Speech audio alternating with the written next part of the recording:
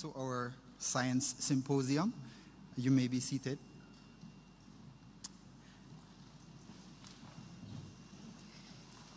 The task is mine to inspire you with a thought. And uh, in thinking about what to share, I just remember a video presentation that I watched quite recently, and it was referring to the fact that the LED lights that we have today, the blue LED light, really changed the way things are today. And there is a scientist by the name of Shuji Nakamura, and he's Japanese, and he's now Japanese American. But, but for years, they came up with the red LED light first, and that followed with the, the green one, but no one could figure out how to make blue light. Now, if you think that an LED light is just about, you know, what we have as our typical incandescent lights or some of the other light systems that we have, it's not so. It is really about moving electrons. All of that stuff that people have learned in chemistry about electrons moving from one shell to another and causing energy to be given off. That is how LEDs work. But they could not, for years, figure out how to get blue light. And so, 30 years after the first invention of the LED light, there was a scientist by the name of this, this guy here, Shuji Nakamura, and he decided, because his company was not doing so well, he decided to go to his boss and to say, Look, we can try to make this blue LED light, but I need funding. So they gave him 3 million US dollars at the time. And he went to America. He spent a few months there. And while he was there, because he wasn't a PhD, he did, he did his bachelor's degree in engineering. He did his master's degree in engineering. But he was, you know, working for this company making semiconductors, and they weren't doing so well. So he understood the basics, but he wanted to expand his knowledge. So he went to America where they had a machine that was able to create this layer of crystal that, on which they built the, the technology of LEDs. But while he was there, they, they mistreated him because he didn't have a PhD. And so they gave him the old machine to work on while the new technology was there. And while he was there, he had to spend every day um, building it, fixing it up, modifying it to make it work. And in that process, he learned a lot about the technology. He went back to Japan with a receipt in his hand for a brand new machine. And while he was there, he set up his lab and he, he set himself to work day in, day out. For one year, every day, he was in his lab. And from morning till evening, he would try. And he would also spend time listening to what's going on in terms of the, the research work that was going on. The theme this year looks at the concept of embracing this new technology that's coming out and trying to make it work.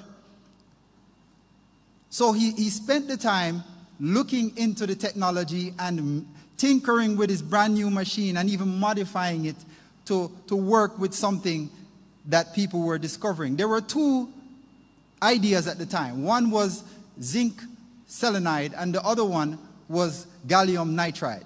Everyone was doing zinc selenide. Everyone was going in that direction. And he decided look, if I am going to make some progress, I have to try something different because he had to publish papers in order to get his PhD. Five papers, that's what was necessary in Japan. And so he said, I'm going to go in the opposite direction where people are not looking because everybody gave up on the technology. And he went in the direction of gallium nitride. And while he went in that direction, he learned a lot of things from other Japanese. There were two others at the Nagoya City University. I've actually visited that university, really big in technology. Um, there were two researchers there doing something along the same line. They were looking at the gallium nitride while everybody else in the world was looking towards zinc selenide.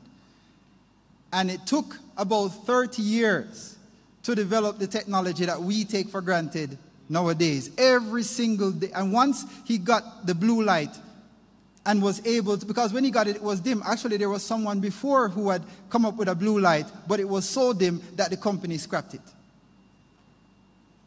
It takes perseverance, it takes effort, it takes energy to take what is new and improve on it.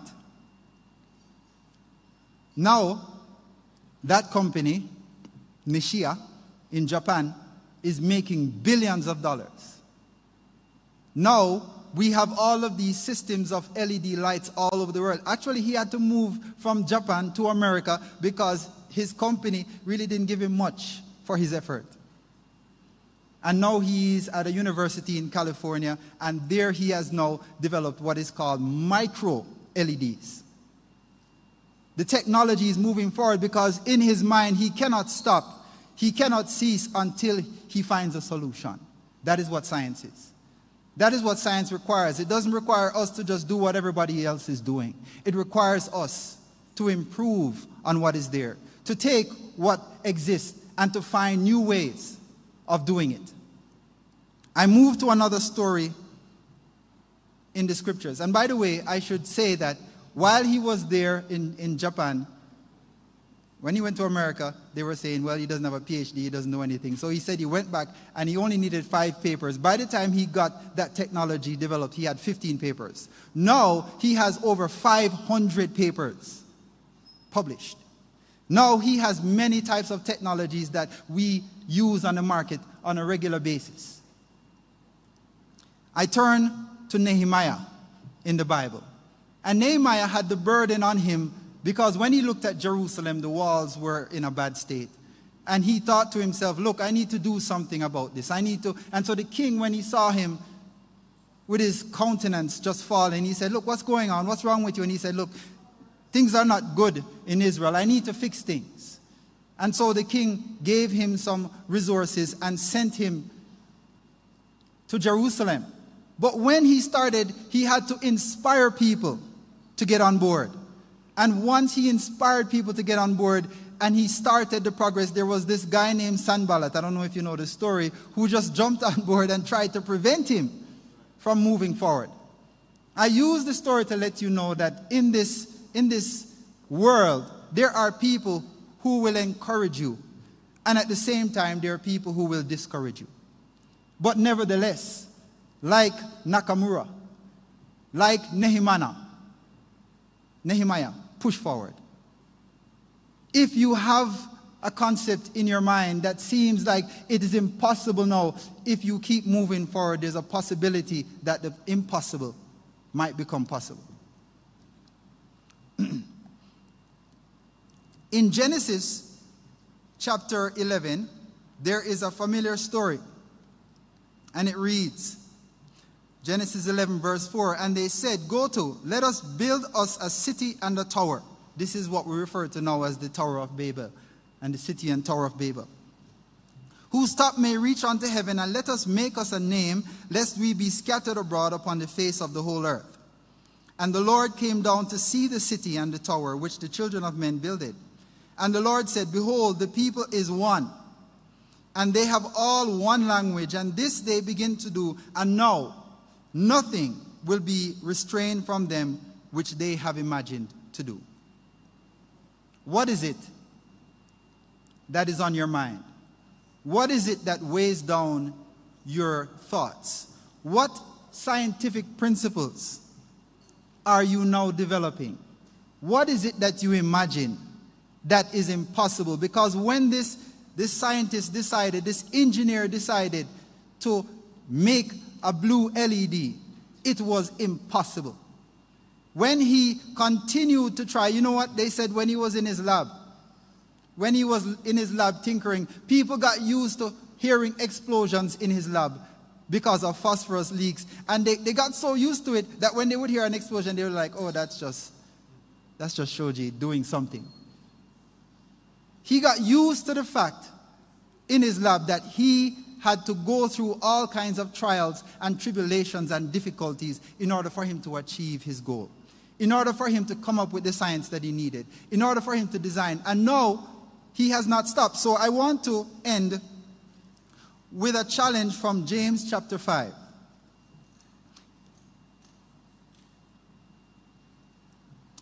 And the challenge to you is what do you do with the knowledge that you have? What do you do with the wealth that you've created. What do you do in the end? Because, you know, nowadays, there, somebody was telling me about it the other day. I was trying to look it up, but they were saying this, this, the CEO for, I think it's Honeycrust in America, shot himself. There was another individual recently, and he was a, a billionaire. Both of these individuals are billionaires, and they shot themselves after, you know, all of these years of, of just making money. I can assure you that Nakamaru, Nakamura has no intention to kill himself because he is following a dream. He is living a principle. If you develop something and build it and grow with it, and your, your focus is not about money, it's just about learning and improving our knowledge, there's no reason to take your life. So, the challenge I give you go to now, ye rich men. This is James chapter 5. I'm reading just a few verses. Go to now, ye rich men, weep and howl for your miseries that shall come upon you. Your riches are corrupted, and your garments are moth eaten. Your gold and your silver is cankered, and the rust of them shall be a witness against you, and shall eat your flesh as it were fire.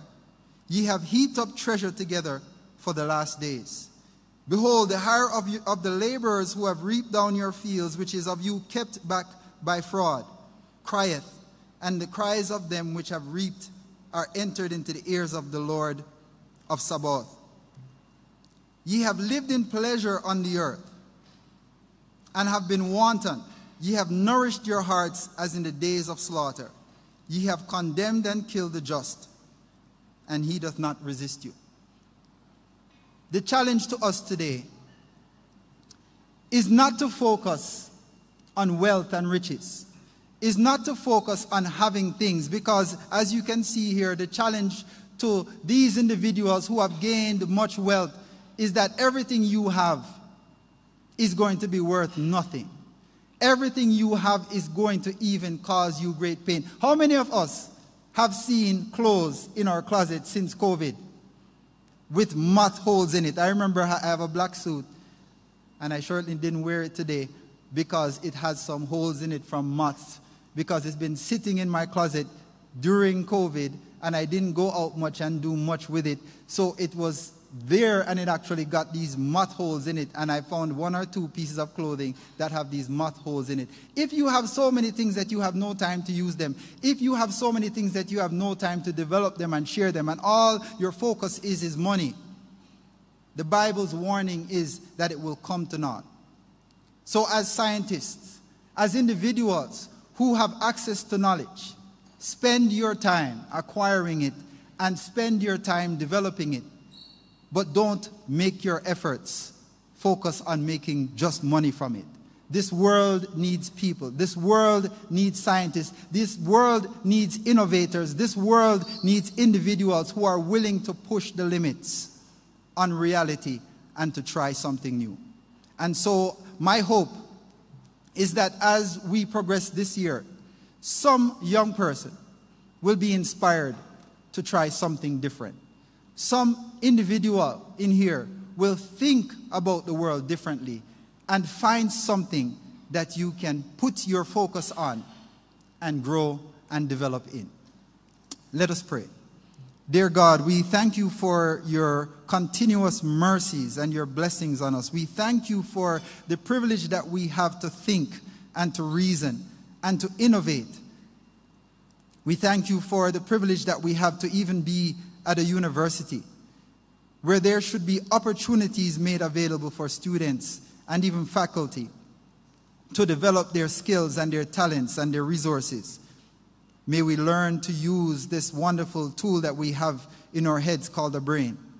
May we learn to develop concepts. And most of all, God, may we learn to trust you to lead us in the right path. May these proceedings today bring glory to your name. I pray in your precious name. Amen.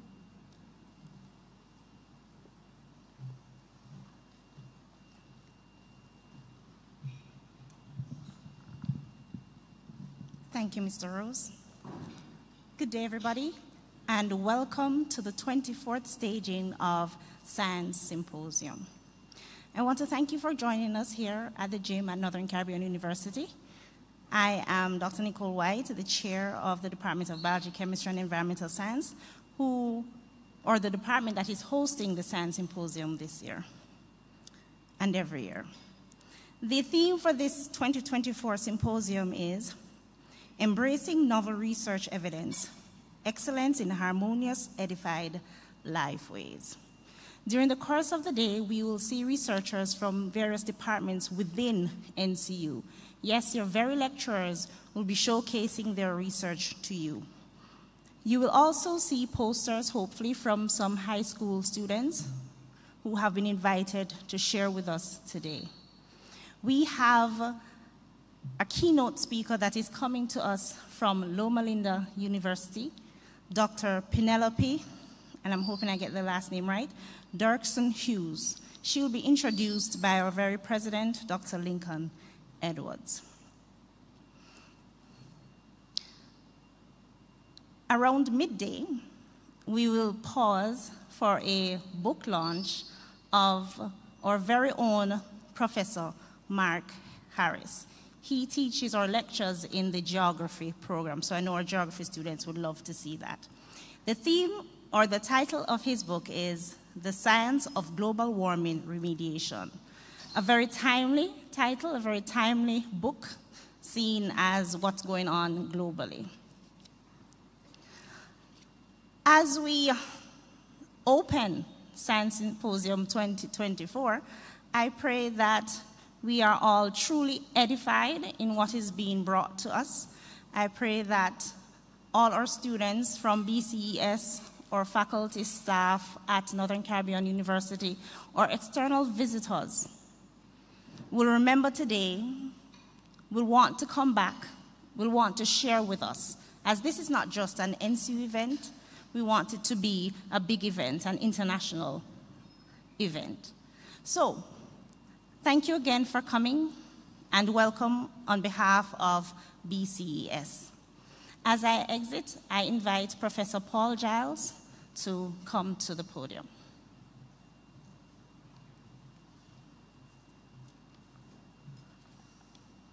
Thank you very much, Dr. White.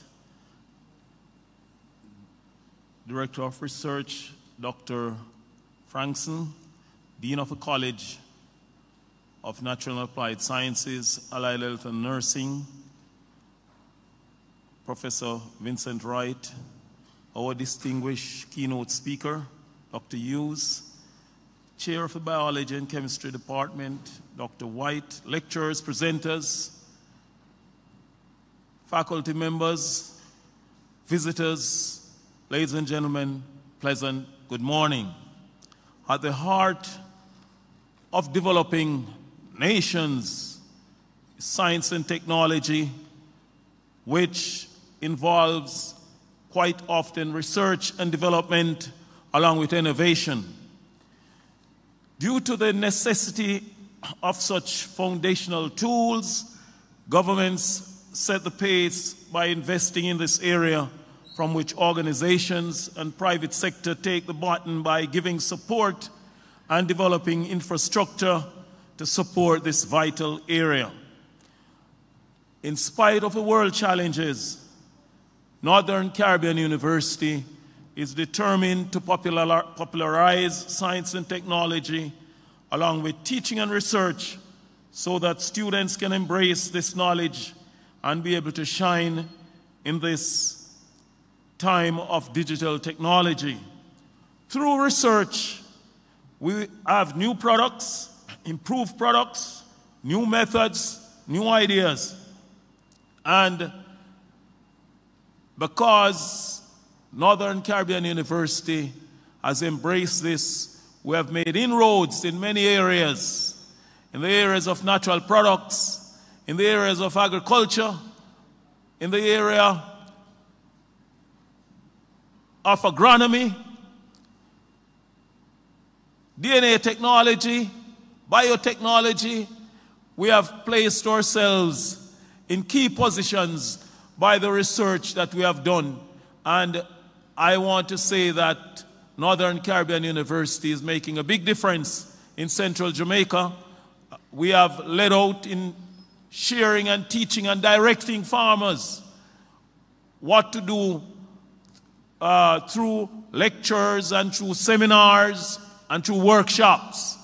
So, Northern Caribbean University has established itself as a key player, and we understand and we are giving support to the communities that we have. Because of our commitment, this science symposium has continued over the past 24 years. And today, I hope we'll have stimulating presentations that are geared towards encouraging practitioners and interested persons to continue to build on the science and technology infrastructure and legacy that we have established. God is a source of all wisdom, and He has established Northern Caribbean University to be a beacon flying the flag of technology, research, and development to enhance those in Jamaica and the societies and around the world. We believe we ought to impact the world.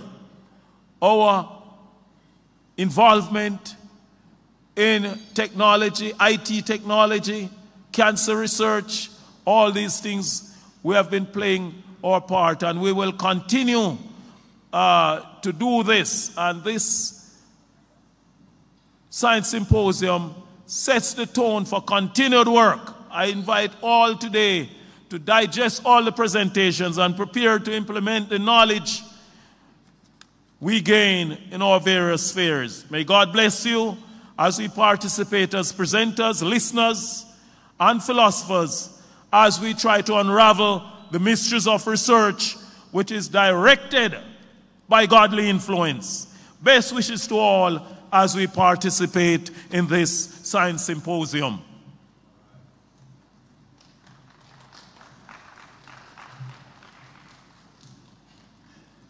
Thank you very much, Professor Giles, for those words. And I just want to greet everyone to our science symposium. I hope it will be a rewarding one for each one that is present here today.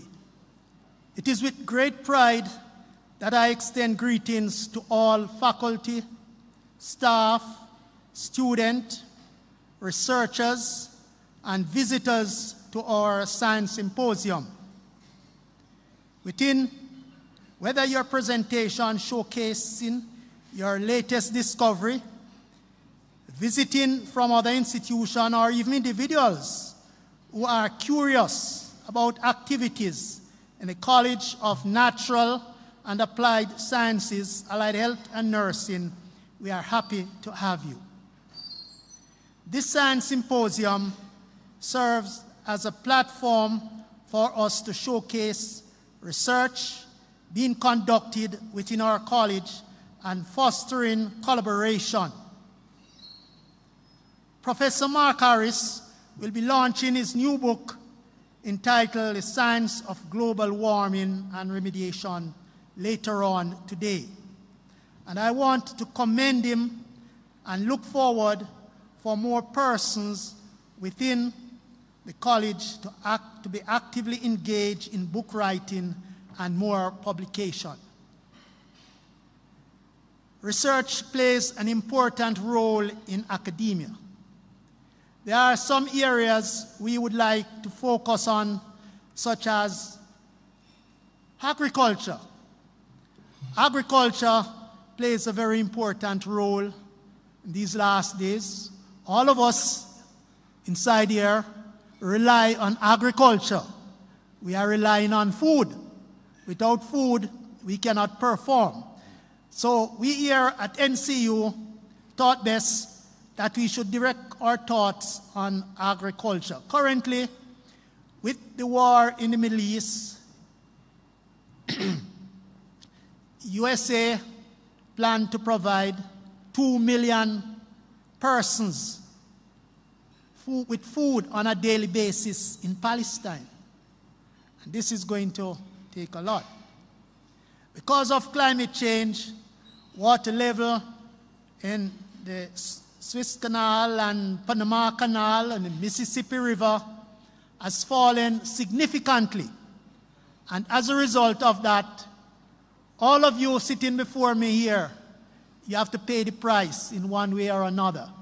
You were to go to Mandeville Market right now as I speak, you will have to pay probably two to three hundred dollars per pound for yam. One planting is being sold for, for over hundred dollars. One finger of planting over hundred dollars. One breadfruit is being sold for eight hundred to a thousand dollars.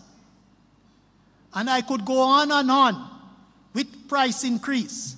So as a result of that, we think agriculture is a very important area and we want to direct our attention, more focus on agriculture. As a result of that, we are going to be doing more research in the area of agriculture.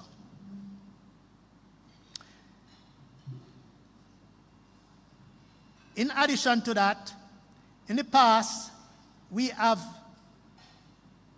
worked with the breadfruit, for example, the breadfruit plant where we have established the Swift River watershed in Portland. And as a result of that, it is bearing fruit. Every day I'm getting call from farmers requesting seedlings, and it, it, is, it has protected the watershed to a great extent. As a result of that, two Jamaicans who live in the United States, they have taken the breadfruit trees and the breadfruit plant to a number of developing and poor countries. And as a result of that, they are creating a lot of strife. Trees that feed. If you go on your website, you will find them. Trees that feed. So it has played a very important role. It started right here at this university. In the past, we have also looked at things like heavy metals, mined out bauxite land, which has gained international recognition.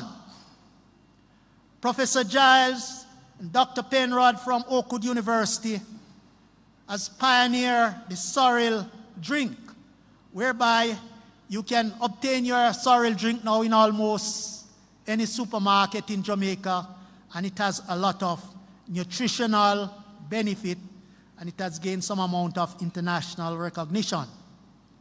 Research has been conducted in areas of nutraceutical. And as a result of that, we realize the potential. And these are some of the areas we are open to embark on at this university. As a university, we are anticipating to conduct more research in the area of computer science, engineer, and the whole business of the environmental science. We are encouraging faculty and graduates, students to get involved. New students who want to be engaged in some of these areas, you can talk to the chair of your various departments within the college.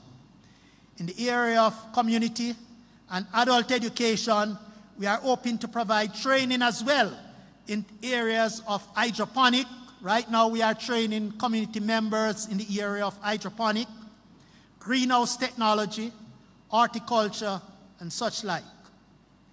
To our presenters and keynote speaker, I extend my sincere gratitude to you for your invaluable insight.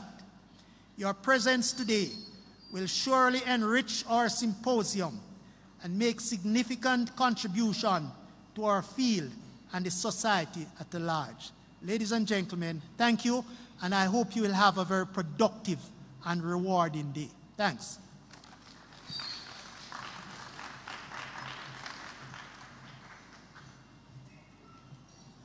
Good morning, everyone.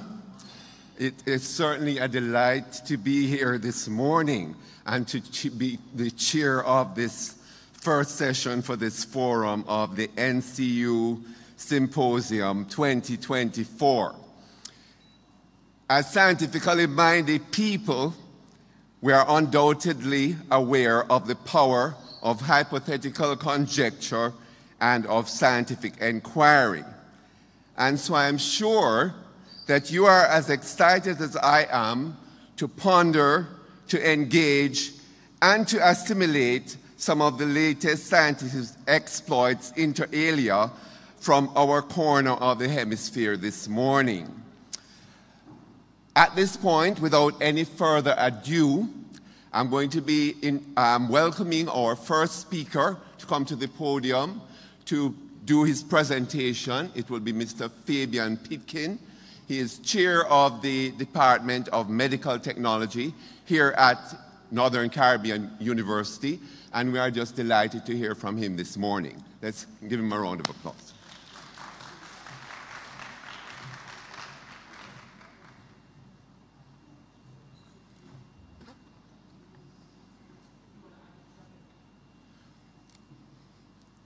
Good morning, everyone. Thank you, Dr. Wellington. And special welcome to those of, of you who are joining us online. This morning, I want to explore with you a study that was done on ethylene diamide tetraacetic acid induced thrombocytopenia, a case report. Ethylene diamide tetraacetic acid induced thrombocytopenia.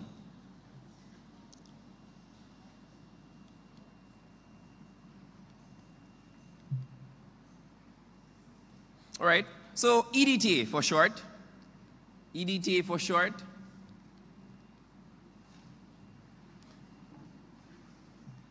EDTA induced thrombocytopenia is a, is a fairly rare disorder that occurs within the test system. So essentially, it does not occur within the, the, the body, it occurs while the sample or blood is collected in the test tube or the collection tube system.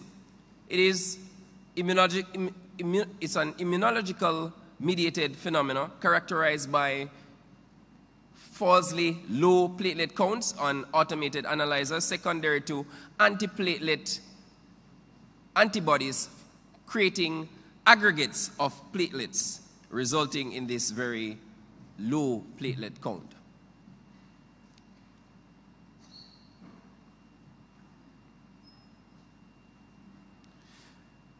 The aggregation of the platelets cause several other changes in the complete blood count um, values. So aggregation of platelets result in elevation or false elevation in your leukocytes because the aggregates of these platelets are measured, measured as lymphocytes. What do we have? Failure to detect this phenomena could result in unnecessary laboratory investigations and superfluous interventions by physicians or other members of the healthcare team.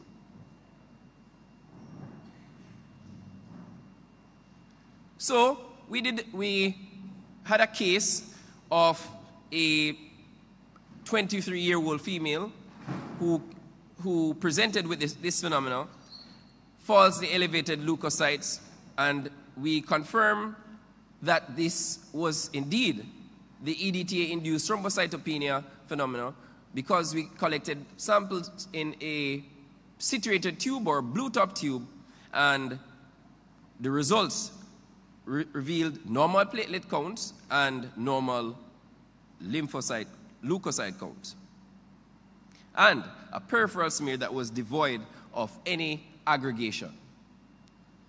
So let's look deeper into this um, phenomenon.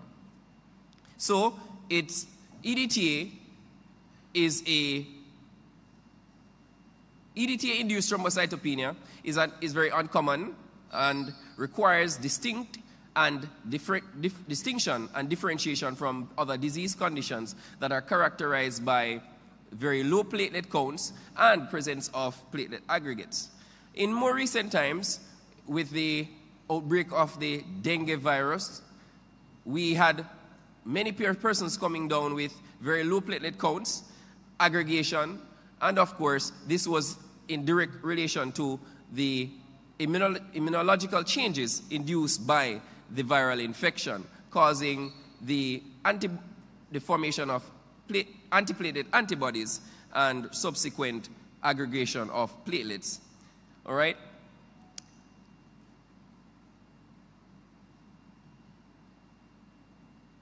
We must be vigilant in detecting this disorder in the clinical laboratory. If we're not vigilant, then the patients are going to spend large sums of monies to do further investigation when it calls for a critical eye, critical thinking, and fast acting medical technologists and, clinician, and other clinicians to detect this disorder. So, even though it's, this disorder is seen in patients with known malignancies and other dis and disorders, it has been observed in normal patients. Approximately 2% of our population. The hallmark feature here is thrombocytopenia with platelet aggregate or aggregation. The aggregates are not counted as platelets by automated analyzers, and you wonder why not find an alternative. Platelet measurements are primarily done by analyzers. On rare occasions, when platelet count is, is low, sometimes um, we might take the, the approach of using going the manual route, and that is very time consuming as against going the um, measuring using analyzers. The phenomenon can be detected on platelet histogram and subsequent manual review of peripheral smear for the presence of the giant platelets and other forms of platelet aggregates. EDTA, ethylene diamide tetraacetic acid, is a commonly used anticoagulant in, our, in, in the lab. And it, it is a chelator, means that it binds calcium to prevent the formation and resulting in the formation of calcium salts, allowing the blood to remain anticoagulated, meaning there's no clotting um, in the testing in the tube system, and this gives excellent preservation of cellular components. You ask why not use other anticoagulants? EDTA is a gold standard. It's a, it's, it's, it's a gold standard for preservation of the formed elements within the blood.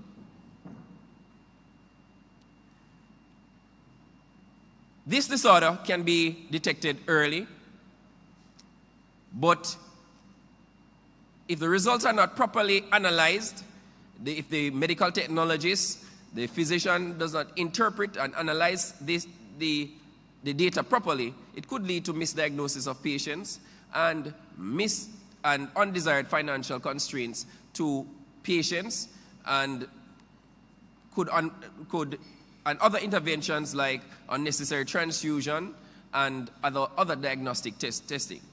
I think about um, a recent case, a recent case where the patient was asked to do a bone marrow, bone marrow aspirate to actually evaluate the health of the bone marrow and the, the, particularly the platelets, or what should I say, stand correctly, the megakaryocytes within the bone marrow. And of course, um, such an intervention is, was, was not necessary because of the, the, the, other presentations. So let's look at our case, the case that we had.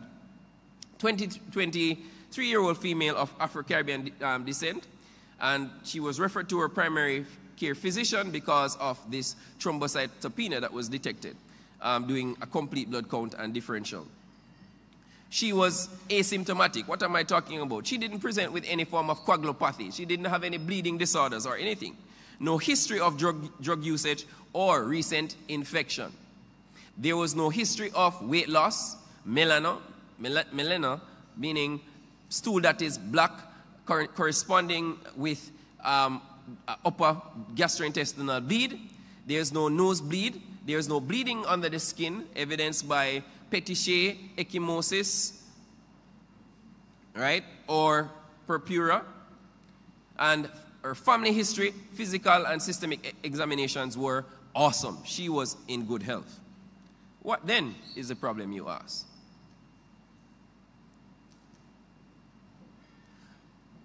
The initial complete blood count revealed normal parameters from alarming low, apart from the alarming low platelet count, her platelet count was 18,000. A normal platelet count is 150,000 to 450,000. So, of course, a platelet count of 18,000 becomes extremely what?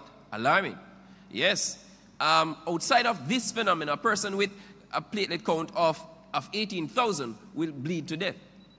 A, a, platelet, a platelet count of 18,000, 18, that person gets a small uh, injury, a small cut, and that results in severe bleeding. The peripheral smear was subsequently reviewed, and it revealed that the platelet, there were platelet aggregates and moderate amount of giant platelets. So, the physician with the team from the laboratory postulated that the low platelet count was due to EDTA platelet aggregation, and this was confirmed with normal platelets from, from normal platelets, normal leukocyte counts from specimen collected in a citrated tube or blue top tube. The, our platelet was two, 259,000, and that's a big difference between what, 18,000, right? Is that correct? Yes, major difference. And of course, her white cell count was, her leukocyte count or white cell count was 8.6, a reference range of 4.8 to 10 point, sorry, 4.8 to 10.8. So, and a peripheral smear that was devoid of any form of platelet aggregates. Let's look at, look at it in more detail. So, EDTA-induced thrombocytopenia is also called pseudo-thrombocytopenia, right? Or EDTA-induced pseudo-thrombocytopenia.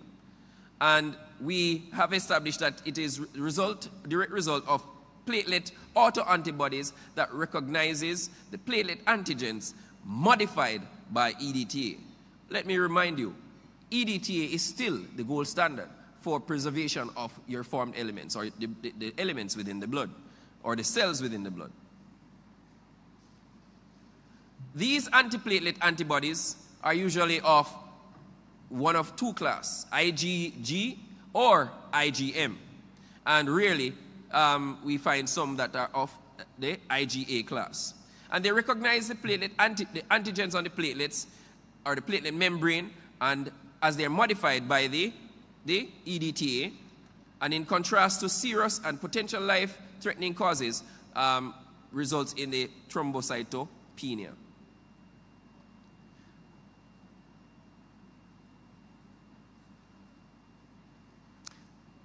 EDTA-induced thrombocytopenia is solely an in vitro effect without any clinical relevance, essentially taking place only in the collection tube right? The chelation, the, chelate, the chelation, the cation chelation by EDTA leads to conformational changes within the platelet membrane GP2B3A complex, unmasking the cryptic, um, unmasking the epitope that becomes accessible for autoantibodies. What happens? This leads to platelet clumping or aggregation, and of course, the formation of giant platelets. And these giant platelets, as mentioned earlier, would have been um, detected or uh, um, computed as lymphocytes. The analyzers count the resulting platelet clumps as single giant platelets or small lymphocytes in the white blood cell aperture, which may result in slightly elevated white blood cell count the phenomena is present in both healthy subjects and in patients with various um, malignancies, and the incidences, incidence has been reported to be approximately 0.09 to 0.21%. This study was done in 2000 and, 2000 and in two, between 2017 and 2019. And the new stats is now that it's moved from, from that small percentage to now 2% or more. So we are, the incidents have been, are in, has increased significantly in, um, in our population.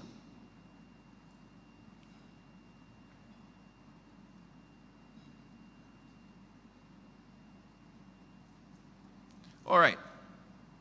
It is necessary for clinicians to consider the possible presence of, of this, this phenomenon in cases with patients having low platelet counts without any hemorrhagic tendencies as observed in our case.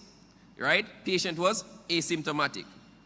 Unrecognized ED, um, EDTA thrombocytopenia may result in unnecessary diagnostic testing and clinical concerns.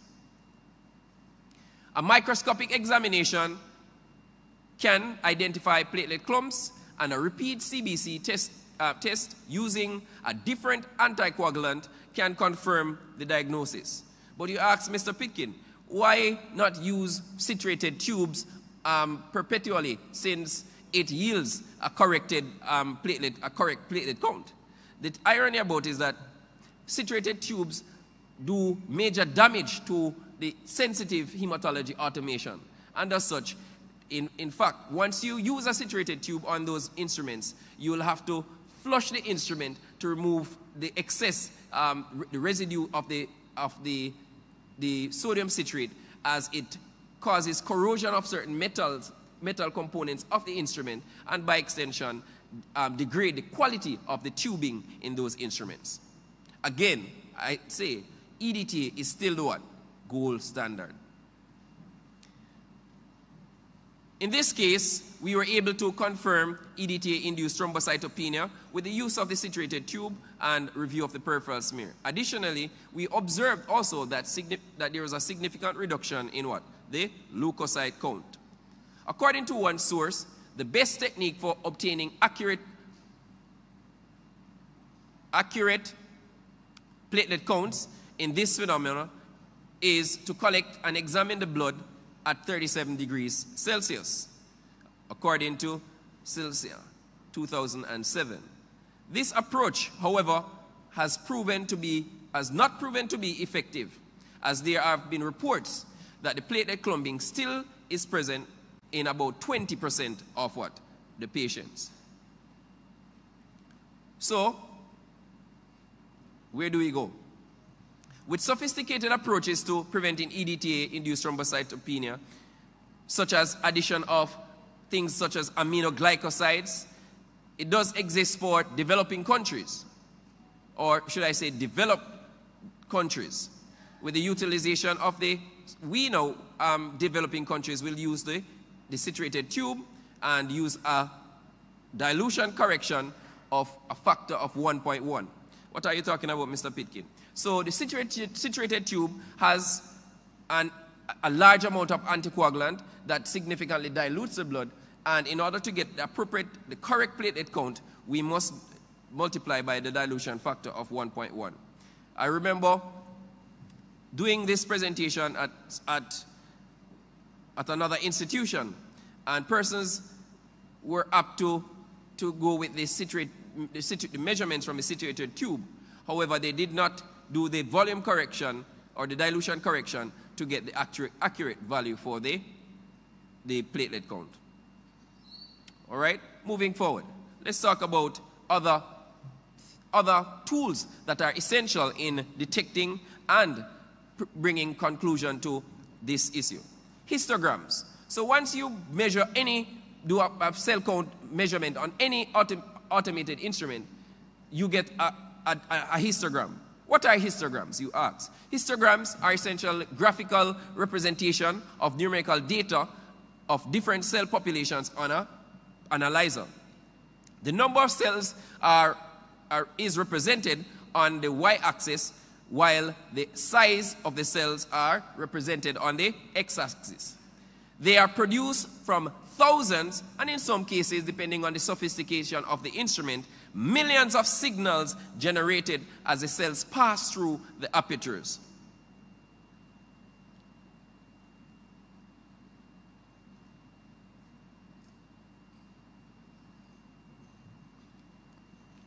Histograms provide information on the distribution of various formed elements within the blood, as well as subpopulations.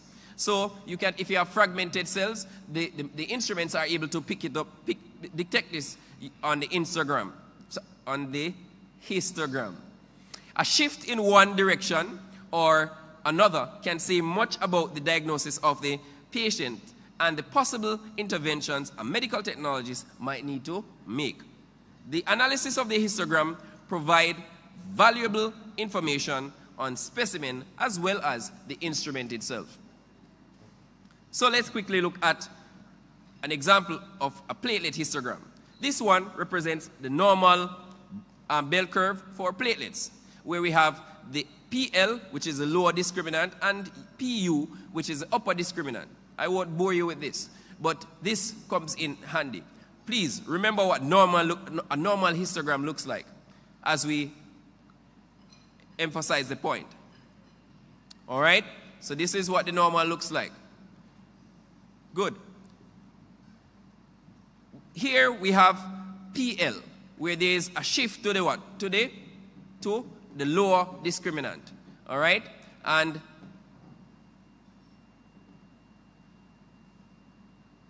and of course, it tells you that something is off with the platelet count.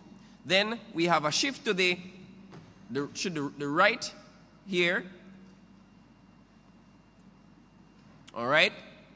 Let's look at, and then we have what we consider as multiple peaks. All right? And this, and we here, I tell you much about what's happening here. Um, well, let's look at some more details. Let's put, the, put them together. So if we have a peak, if we have a peak or a spike at the left end of the histogram, that is as a result of RBC fragments. RBC fragments are not platelets. And we see this in cases where there are disorders where the, the cells are fragmenting and it causes a falsely, false elevation in your platelets. That's a twist. All right? Disorders such as chronic lymphocytic leukemia, where the cells are actually um, where the cells are fragile and result in significant amount of fragmentation. Then we have a spike towards the right of the histogram. We see these in schistocytes where there's a hemolytic process and cells are, are being destroyed intravascularly, and of course, microcytes. And here we have it, giant platelets and, and platelet aggregation. And bimodal peak, we'll see it in um, where there are plasma fragments. So our interest, though, is in the shift to the right. Let's go back. Remember what normal looks like?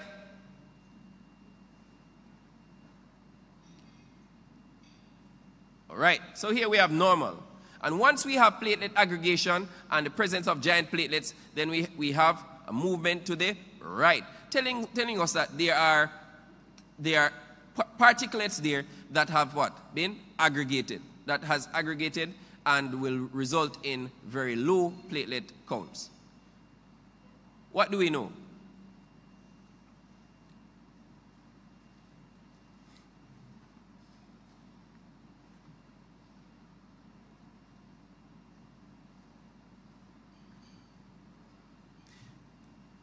The case demonstrates the importance of not excluding EDTA-induced thrombocytopenia in instances where patients present with low platelet counts. Platelet aggregation on the peripheral smear and no, with no physical findings or history that, are, that is suggestive of thrombocytopenia. In cases where aminoglycosides are not readily available, the utilization of citrated tube and testing at 37 degrees Celsius could pr provide beneficial, ben could be beneficial in detecting this disorder with minimal um, aggregation for the citrated tube. Detection of EDT-induced thrombocytopenia is very important for physicians as well as laboratory personnel as it averts unnecessary laboratory in investigations and superfluous interventions. I took this one step further. And I had a similar phenomenon, and I realized that the platelet counts for these patients increase incrementally after two to three hours. So what I did, the sample was collected, measurements was, was, was, were extremely low for the platelets. After three hours, I did another measurement and I realized what? It gradually increase with time. A patient that has a true thrombocytopenic situation or presentation, will ne- you'll never find that gradual increase in the, in the platelets with time. All right? And so that could be another useful marker to actually distinguish the platelet induced thrombocytopenia from all other disorders of clinical significance. I thank you.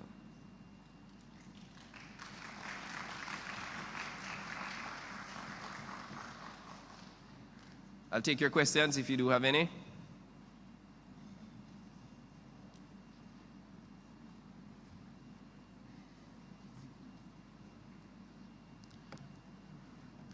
All right.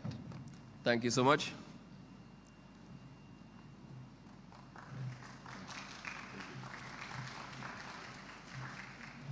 Thank you, Mr. Pitkin, for that very informative.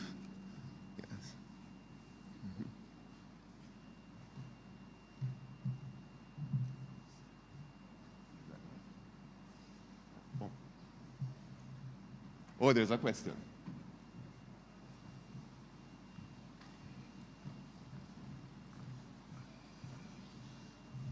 Thank you for your very informative uh, presentation, Mr. Pitkin. Thank you. I have one uh, uncertainty here. Um, EDTA is known to bleed calcium from organic systems because it needs the calcium in order to work. If you're using calcium EDTA. Now, I never heard, maybe I wasn't listening, the dosage, and that depends on the dosage. Put a lot of e- E- EDTA, which is calcium deficient. It's going to bleed calcium from the uh, body systems. That's the information that I have been exposed to recently. Not personally, but uh, in the literature. So I'm wondering if you have any thoughts on this. Maybe I'm wrong, but maybe you can correct me if I'm wrong. Okay, great. So just to separate um, that question from the presentation, the presentation looks at what happens in the collection tube when the blood is collected. So it's an in vitro um, phenomenon. But EDTA is a chelating agent. It binds calcium to form calcium salts, and in the, in the presence of blood, it prevents the clotting of blood. Once we EDTA is used in, within the system, it, it, the results are the same. The- however, as it relates to the dosage, that depends on the, the, in, the so the efficiency of chelating or removing calcium depends on the individual and of course the, the, the dosage as used in vivo Dosage uh, tailored to the individual. That's Yes. what I'm seeing. or in, in uh, uh, or in, in, in best in best cases should we shouldn't be using um, EDTA um, to uh, in Thank you. EDTA within um, in vivo that is Yes. Thank you. Calcium is very important for multiple um, physiological functions. And as we get older, or the, the levels, depending on um, gender too, there, there are concerns for depleting levels of calcium. And of course, we would not want to have a, a significant remo- reduc- reduction in our calcium levels for normal physiological function. All right, Thank you. You're welcome.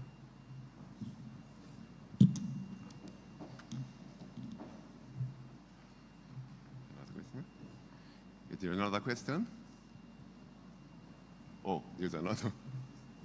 Um, good day, good day. Um, I'm not sure if I was too late to the whole symposium, but what do you think is the main cause that um, causes this to happen in the body? The rise of the, I forgot the name of it. Okay, the thrombocytopenia. So, the- the- okay. So what we know is that it's an immunological um, situation where the the so it doesn't occur in the body; it occurs in the tube. So some individuals, and we can't even say which individual. Some individuals will react this way by producing an antibody to the to, to, to the EDTA um, as it as it binds to the the, the, the, the the membrane of the platelets. All right? Uh, we say it's rare, and indeed it is. And we can't say who um, will react that way. We can't predict who will react that way. All our focus here is to be able to detect it early so that there's no um, major expense on unnecessary investigations for the patient. You're welcome, sir. That's it? Okay. All right, thank you very much, and thank you for those questions. And I'd want to encourage you, if you have questions, please write them down, and you know you'll get an opportunity at the end to um, um, present your questions.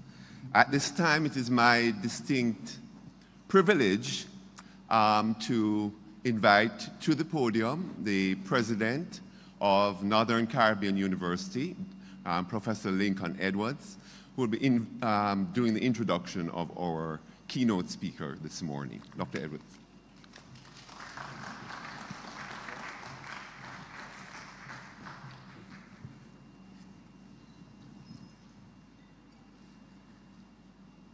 Good morning and welcome to Research Week right here at Northern Caribbean University. I'm delighted to see those of you who are here in the audience, and I, I know some of you are from other institutions, and I extend a warm NCU welcome to all of you. Certainly want to welcome our students, our faculty, staff, and our administrators who are joining us for this very, very uh, important uh, research week. Let me pause to, to thank and to congratulate um, Tony Frankson, Dr. Uh, Martin Anthony Frankson, and his team for putting together this, this program that all of us can enjoy and learn additional things. So I'm, I'm really delighted that you are here to, to participate in this ceremony. Uh, my substantive task, as was mentioned, is to introduce our guest speaker for this uh, morning's session. Dr. Penelope Dirksen Hughes received her PhD in biochemistry from Emory University in Atlanta in 1987. She worked in the laboratory of Dr. Keith Wilkinson, where she isolated and characterized one of the first known D-ubiquitinase for her doctoral dissertation project. Following a postdoctoral fellowship in the laboratory of Dr. Linda Gooding, where she focused on learning how adenoviruses evaded and disabled the host immune system. She spent two years at the Agency for Toxic Substances and Disease Registry. Dr. Hughes then accepted an appointment as an assistant professor at Georgia State University, where she was promoted to associate professor and received tenure in 2000. Dr. Dirksen Hughes then transitioned to Loma Linda University, where she set up a laboratory focused on understanding how the human papilloma virus evades the host immune system and causes cancer. Her current efforts are focused on finding better ways to prevent and treat this disease. One molecule identified in her lab has shown promise in an in vivo model, and Dr. Dirksen Hughes has created a small business with the goal of exploring the possibility of moving this molecule into clinical trials. More recently, Dr. Dirksen Hughes has become intrigued with the possibility that it may now be possible to understand the molecular basis of health and disease more clearly than ever before, and has partnered with other researchers in the schools of medicine and public health to define the genes, epigenetic patterns, and transcriptomic profiles that are associated with healthy longevity. In addition to her scientific work, Dr. Dirksen Hughes serves as the Associate Dean for Basic Science and Translational Research within the School of Medicine and as Director of the Institute for Genetics and Translational Genomics. This short profile does not tell the full story of the work, the tremendous work that Dr. Hughes does. For example, our work in mentoring so many graduate students so that they now have a successful career. Her work in mentoring so many faculty at Loma Linda, and I, I was privileged to be there at the time when she, um, she became associate dean. And I know the interest that she has in developing faculty and moving all of us forward in our research career. Dr. Hughes accepted the, the invitation to join us at very short notice. And I want it to be known, Dr. Hughes, how thankful I am that you took time out of your very busy schedule, and I know how busy your schedule is, and to come here at Loma Linda, at NCU. Initially, she was going to do it online. And then we asked if she would consider coming in person, and she did not hesitate. And here she is today. And ladies and gentlemen, please help me make her feel welcome to Northern Caribbean University. Thank you so much, Dr. Hughes, for accepting the invitation, and we look forward to your presentation. I believe we have uh, an item of music. The lovely ladies are here ready to go. Thank you, and now over to you.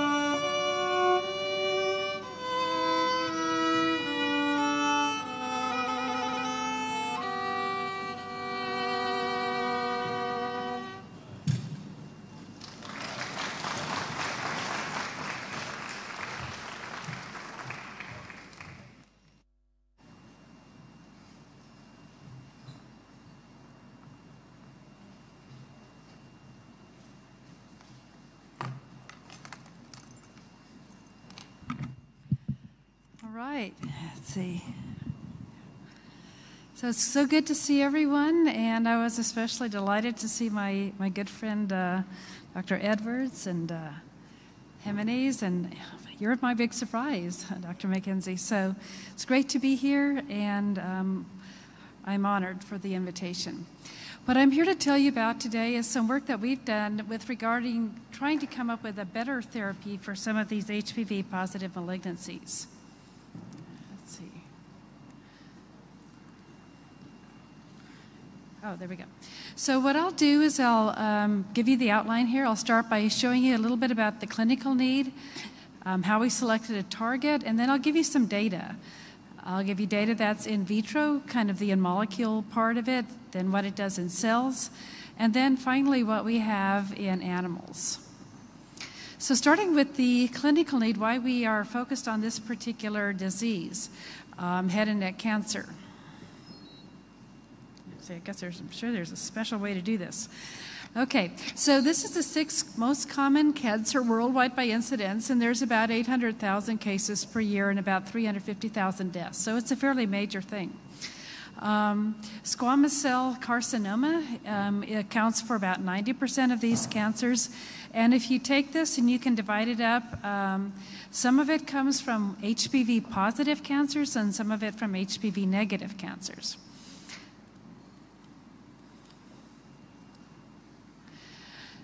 So this gives you a little uh, figure as to the head and neck area and where some of these cancers sort of develop. Um, the two different types, as I indicated before, were either HPV positive or HPV negative. The HPV positive, I'm sorry, the HPV negative ones typically come about because of smoking um, and that sort of a thing, and it's kind of one bucket. The HPV positive ones are basically due to a specific virus, human papillomavirus, which tends to go into the tonsillar areas and um, cause cancer in those areas. Now, the interesting thing is that when you look at management and outcomes, for the most part, what we have is equally used for both. And essentially, it's uh, radiation with or without some chemotherapy um, to go with it. The problem is, is that while you have quite good survival, it's like 80%, it's not personalized and it's not as specific as it should be. Because while that may be appropriate for some of the HPV negative tumors, these are the ones that show up later in life, like in the 50s and 60s. And um, the important thing there is for survival. But when you look at the HPV positive ones, it's really not the best therapy because these are men who are, it's mostly a disease of men, it, who are in their 20s and their 30s. They have many years of life because they're otherwise healthy. And when you do this kind of a treatment, you have a lot of damage. So a lot of them lose the salivary function, and so they have to go around for decades with a little spray bottle because they can't make their own saliva. So the goal is to see if we can't make life better for some of these men by coming up with a solution that's not as harmful, that is um, just as effective, if not better. So that's what the kind of driving force is. This is a table that just gives you about a sense of where the numbers come from. So, really, when you think about it, HPV positive tumors are about 5% of all cancers in the US. Um, and the biggest number is like head and neck cancers. So that's the, tar- the clinical need, and now we'll talk a little bit about the target itself.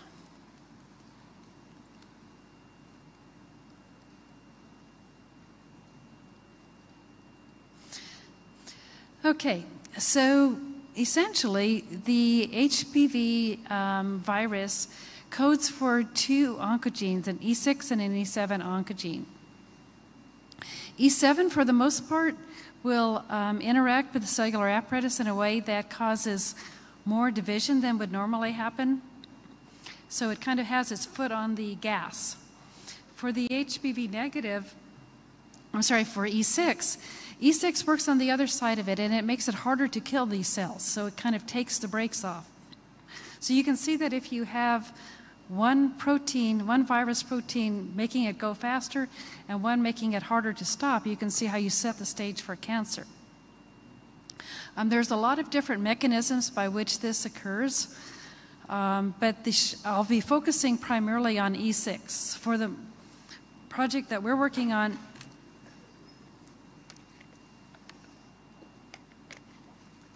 our goal has been ways to stop E6 from doing what it does best. and what that means is keeping it from stopping cell death. And the form of cell death we look at is apoptosis. So, the short version of how this works is as follows You've got um, a variety of ways in which um, you can activate apoptosis. Caspase 3 is involved, P53 is involved. And what E6 does is it binds to a protein that it binds to called E6AP. That then pulls in P53, puts ubiquitins on it, that takes the ubiquitins takes it to the proteasome and has destruction of the P53 and these other apoptotic pathways. Another pathway that it works on is the um, endogenous apoptotic pathway, where you have things like FAD and caspase 8, and it basically does the same thing. It comes in, it binds to its targets, and carts them off to the proteasome for degradation. And as it does that, you essentially sabotage the whole cell death pathway, and it makes it very hard for the cell to be killed. Now, that, of course, is a good idea for the virus because it likes to have little more cells making more viruses. But it's bad for the host because it means you can get cancer. So we're coming up with small drug like molecules which will get in the way and get in between E6 and its partner proteins, salvage those um, apoptotic signaling molecules and make it easier for us to go ahead and kill those cells with radiation or whatever it is that we're choosing to use. So that's the basic idea. Um, working model that small molecules that inhibit E6 activity can increase the effectiveness of all these different kinds of therapies for HPV positive head and neck cancer. All right, so now for some data. We started out by doing a big screen. And so, what that basically says is we'll take a whole library of molecules of different types, and we'll find a way to assay a lot of them at once and just kind of figure out which ones seem to do something and which ones don't. And then you have sequential filters where you keep making the list shorter and shorter until hopefully you end up with just one that you're testing. And so that's essentially what we did. The machine that we used is a alpha screen technology. This is what it looks like. And essentially what you're doing is you're taking two beads and one bead you stick to one partner the E6, say, and the other bead you stick to the other partner, one of the cellular proteins. We use caspase 8. And then you ask whether or not these two cellular things, E6 and caspase 8, get close enough together. If they are close enough together, then you can hit, um, hit your solution with a particular radiation. It'll make singlet oxygen hop off. And if it is close enough to the next bead, it will then cause a different kind of emission, and you can detect that. So, what you're looking for then is a loss of signal. And you'll get that loss of signal if you have the right small molecule that keeps these two partners from binding to each other. So we did that, um, and this is a little bit of the data about the kind of uh, library we were using and the molecules that were in it. You end up looking at your results by a volcano plot. You can see why they call it that. But we were interested in that area on the upper right where it says hits. Those are areas where you got a lot of inhibition with good um, reproducibility. And then, of course, we had to make the list shorter. And so, one of the shorter things that we did to make it shorter was you said, Does it stop the binding of things that don't really matter? And so, as we did that, we discovered a few more things and we took them off the list. We are also able to ask whether or not it kept the binding of caspase 8 from caspase 8, and we weren't interested in anything that bound to caspase 8, so we took those off the list. And so this is just uh, showing you some of the graphs that we got from that analysis.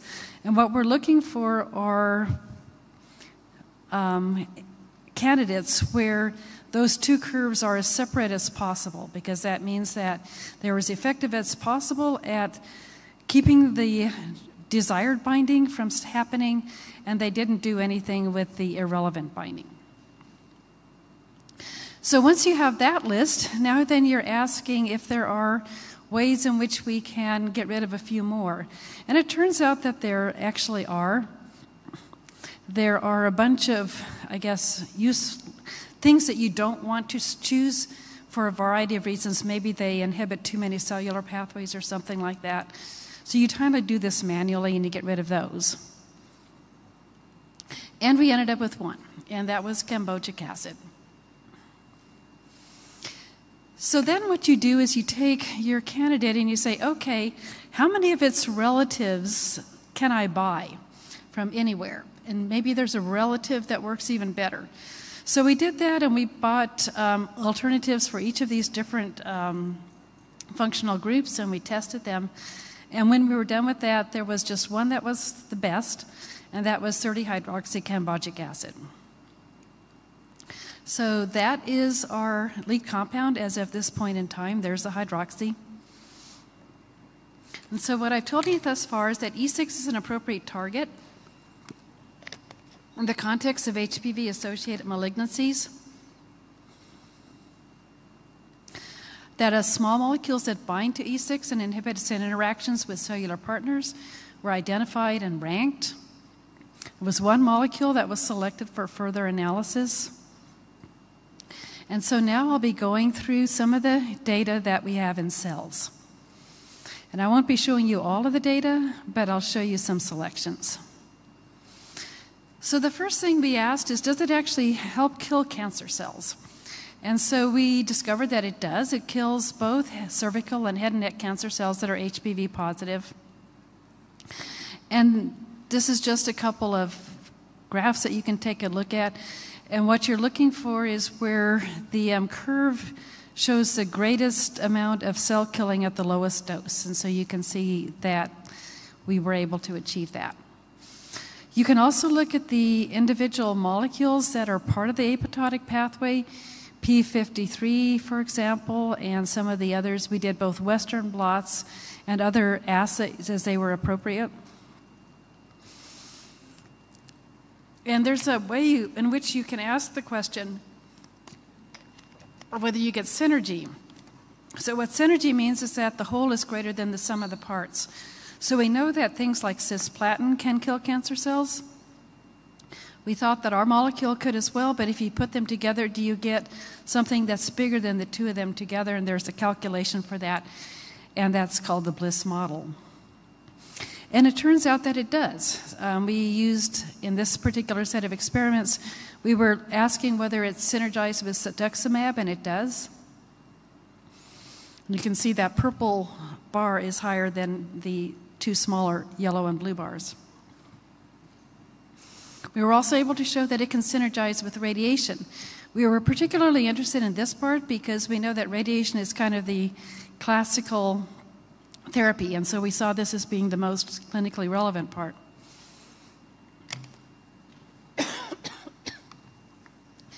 And so you can see that we tried it with um, both HPV negative cells, and it really didn't synergize. But if you look at it with the HPV positive cells, you do see synergy.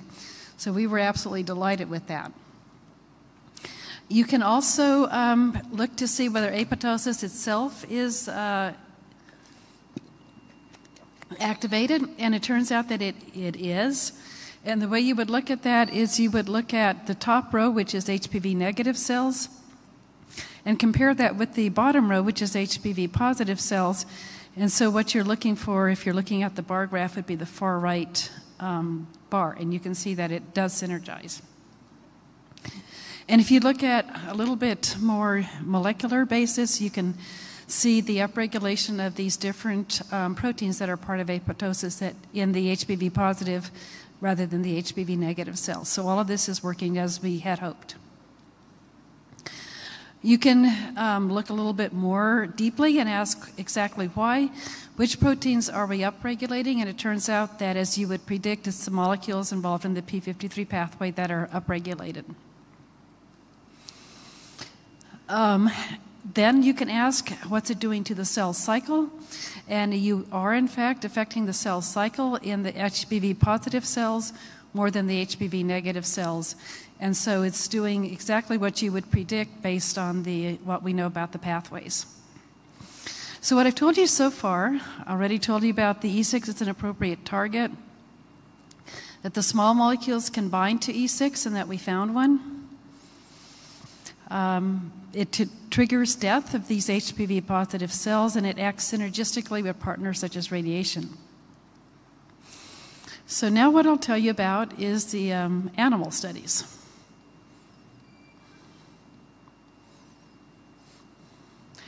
Um, I'll show you the toxicity data, a little bit of that, and then I'll also show you the efficacy data.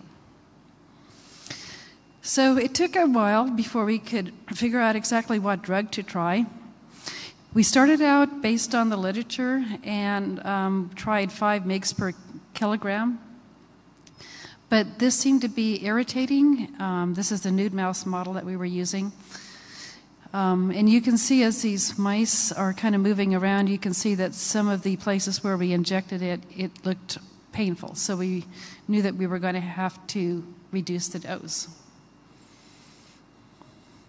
So we went down to three, and we still got something. And so we did a little bit more optimization and discovered that if you have two, you get mild toxicity.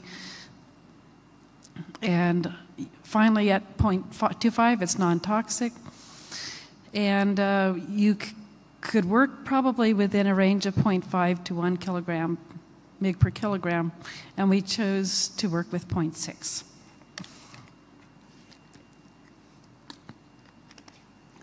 This gives you also the doses that we used for cisplatin and cetuximab, which is one of the other treatments we wanted to see if we could get synergy with.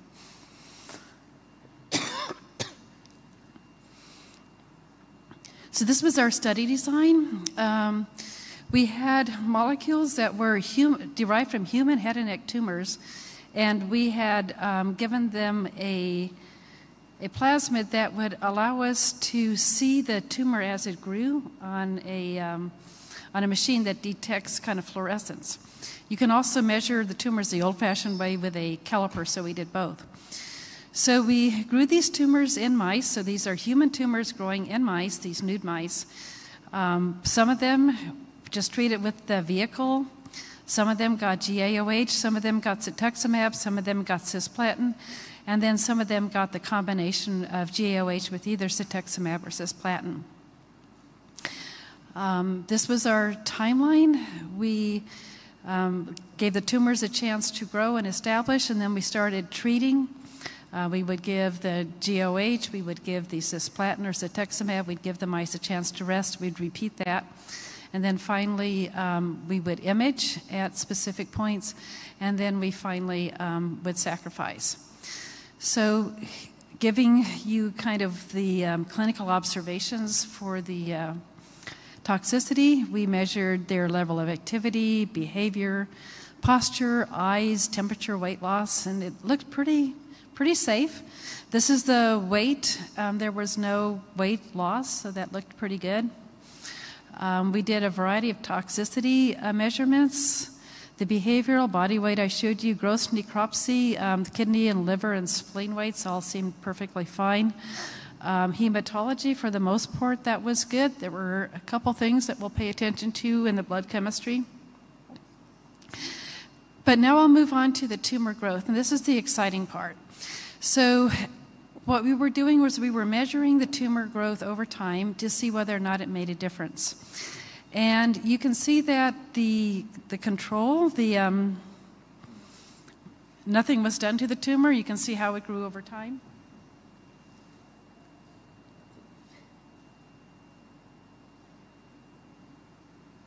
What I want to draw your attention to is that dotted line. That dotted line that's um, probably kind of in the middle of the graph, that's our compound plus cisplatin.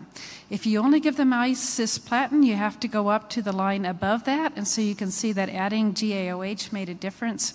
You can also see that cetuximab was really, really effective with or without our compound, so you really couldn't see whether our compound mattered or not. Um, the graph to the right is the same data, but it's shown um, with the actual data points as opposed to the statistically um, analyzed and, and massaged way.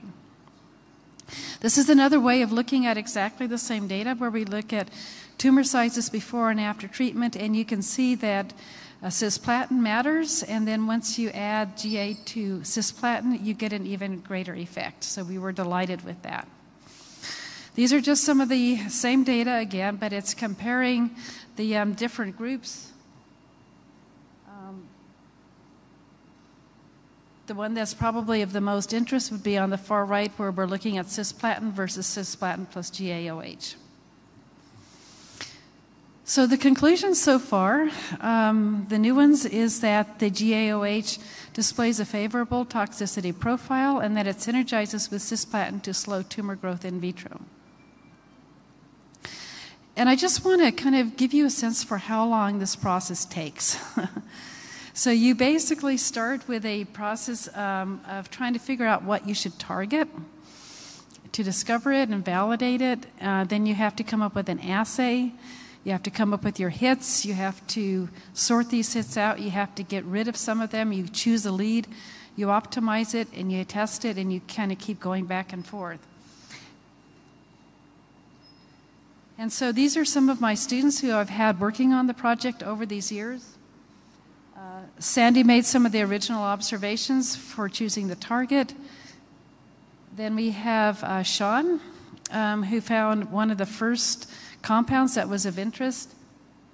Lennox um, Chitsky, um, he's an MD PhD student in my lab from Zimbabwe. He made the um, GAOH connection.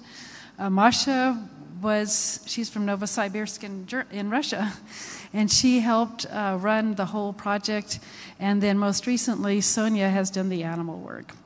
I just love the international nature of these scientific collaborations. So I want to acknowledge all the members of my lab.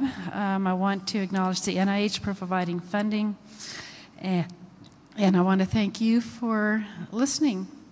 So I'm happy to take a few questions.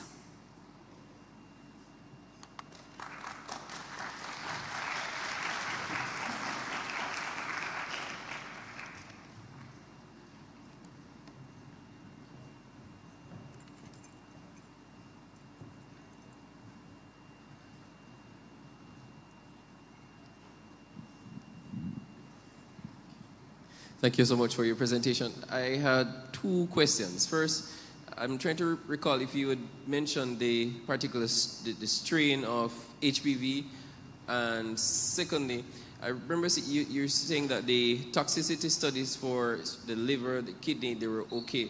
But which of these systems, um, the liver, the kidney, were, were most affected um, by the, the therapy? So the, um, the type that we were analyzing against was HPV 16. And you were asking, your second question was how did we deliver the drug into the tumor? No, no. Uh, in assessing toxicity, you'd have looked at the impact on the liver and the kidney, kidneys. Uh, which of these systems were, were mostly impacted? You said that they were okay, but. Um... yeah. Uh, there was one mouse in the entire study section who um, developed splenomegaly. And uh, so we had a big spleen, and we're not sure why, but that really was the only abnormality we did. Everything else was within normal. Thank you.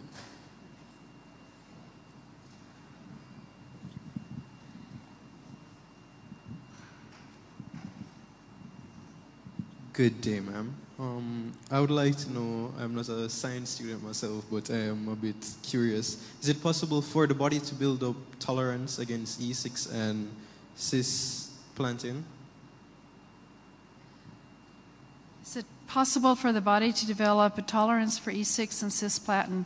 Yes. Cisplatin is a toxicity drug. Um, it's cancer, it's kind of general purpose, and most most people do suffer fairly severe side effects to it. I don't know if that there's any um, tolerance that you build up.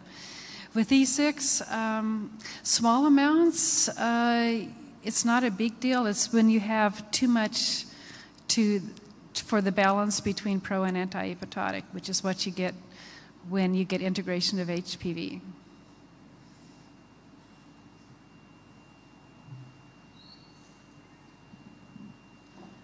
All right, thank you very much.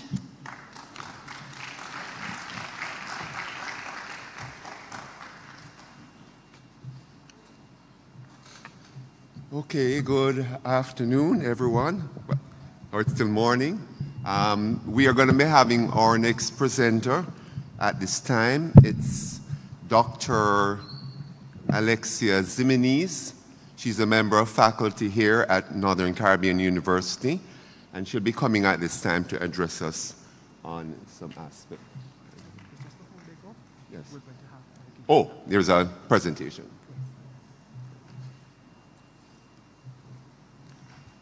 All right, so Dr. Hughes, we thank you for that relevant information because what data that I'm seeing now, they are saying that in another decade, at least not only one in two persons in the US will have cancer, but they are saying that in, this, in the next decades to come, they might find that at least every individual will have some kind of cancer in their lifetime. That's what they're predicting. So, very relevant information.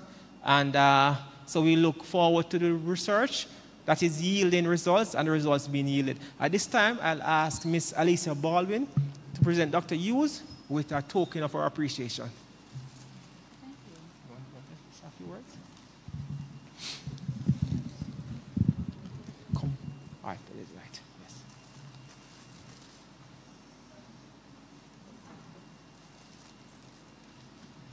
Ladies and gentlemen and esteemed guests, this is with sincere gratitude that I extend my heartfelt um, thank you to our keynote speaker for today. Your wisdom, insight, and passion has truly impacted us all.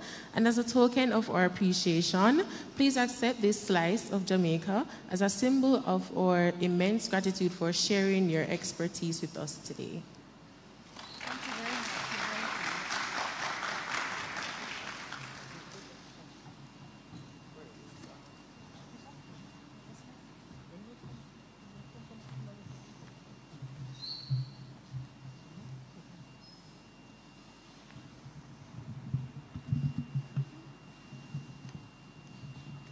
Okay.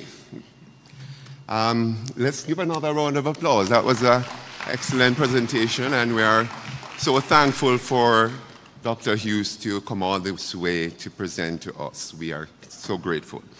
At this time, we're going to be hearing from Dr. Alexia Ximenes, who will be talking to us on some molecular aspect of biochemistry. Thank you and good morning. Uh, while I wait for my slides to um, come up, oh, there they are. Um, I want to thank again Dr. Hughes for being here. She's actually um, one of my professors. She taught me immunology when I was in graduate school, so it's really good to see her again. Uh, this morning I'll be sharing with you some uh, data that I had uh, in my um, for my dissertation um, when I was doing my graduate work, uh, where we were able to discover a novel enzyme. Uh, so, our topic for our talk today is discovering a novel diguanylate cyclase using bioinformatics to ask the right questions. Okay, so for our outline, we will be having just a brief introduction. Uh, we will be looking at our aims. Uh, aim one, uh, looking at genetic studies, and aim two, protein functional assays, and an overall summary and conclusion, and then our acknowledgments. So we were investigating Porphyromonas gingivalis, which is a gram-negative anaerobe that colonizes the um, oral cavity. Uh, here we have, uh, let me see. uh, we have, forward, okay, we have the healthy periodontium where we have um, the gingiva, the periodontal ligament, cementum, and alveolar bone. Uh, this is what it looks like in the healthy situation. We have our early colonizers. Uh, and then our late colonizers that are more pathogenic.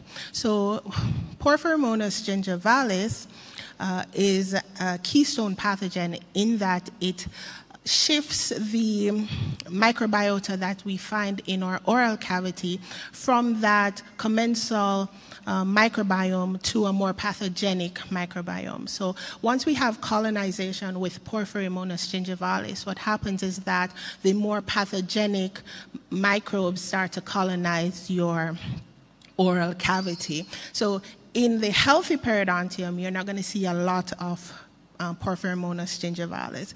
Uh, going forward, I'll be just calling it PG or P. gingivalis. So in our healthy oral cavity, we don't see much of that.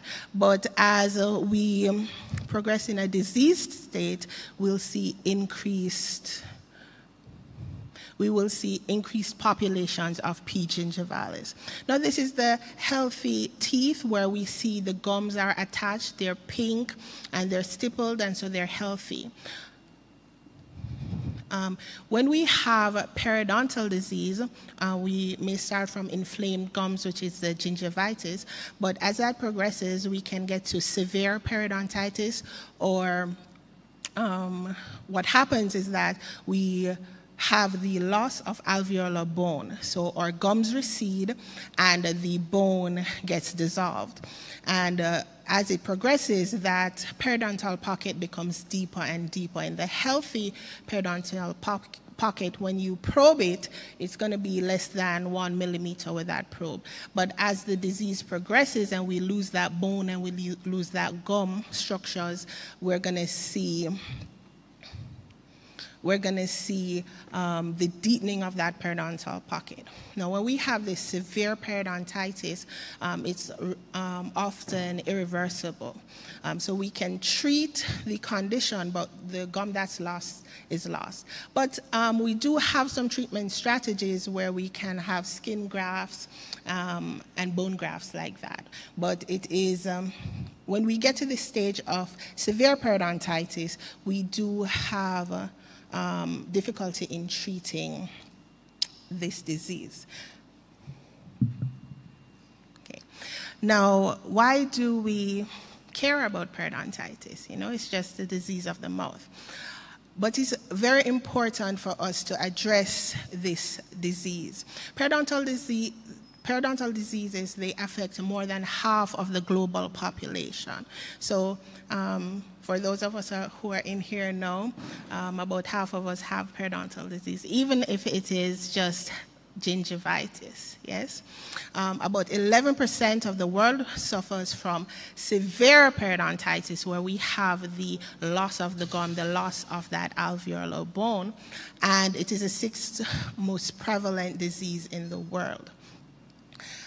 Now it becomes important because periodontal disease is linked to several other conditions, um, notably cardiovascular disease, stroke, and cancers. And recently, when we had our um, COVID pandemic, it was noticed that those who had severe COVID symptoms also had severe um, periodontitis or severe periodontal symptoms as well. Um, the relationship between them have, has not been established. There still needs to be more research. But with um, another disease, diabetes, there is a reciprocal um, relationship where as diabetes gets worse, your um, periodontitis gets worse. And as the periodontitis gets worse, it exacerbates your diabetes. So they, are, they have this reciprocal relationship. In terms of COVID, we're not sure um, if that reciprocal relationship is there.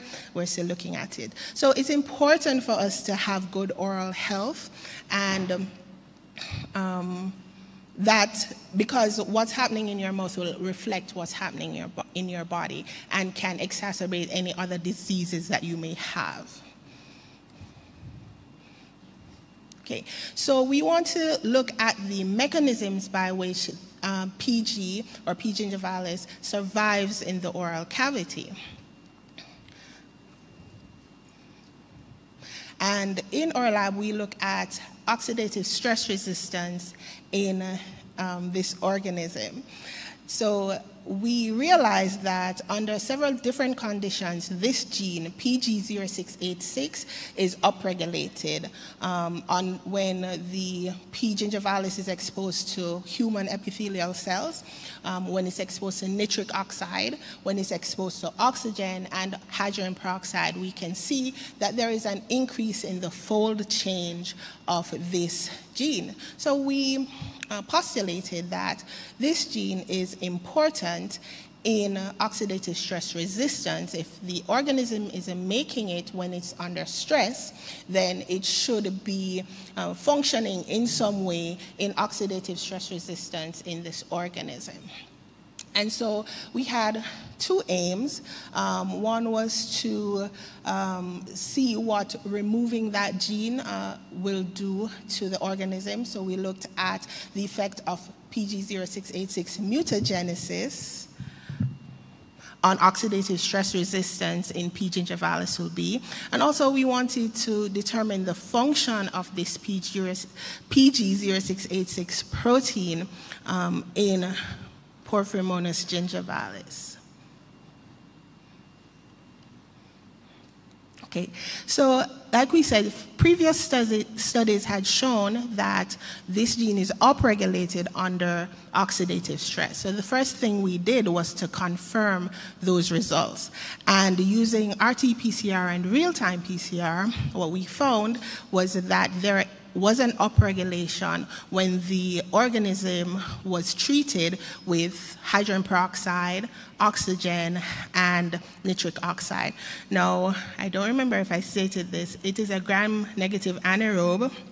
So, um, after two hours in air, in oxygen, it dies. Um, but exposing the organism for about one hour in air, we, it doesn't die, but we do see an upregulation of this gene.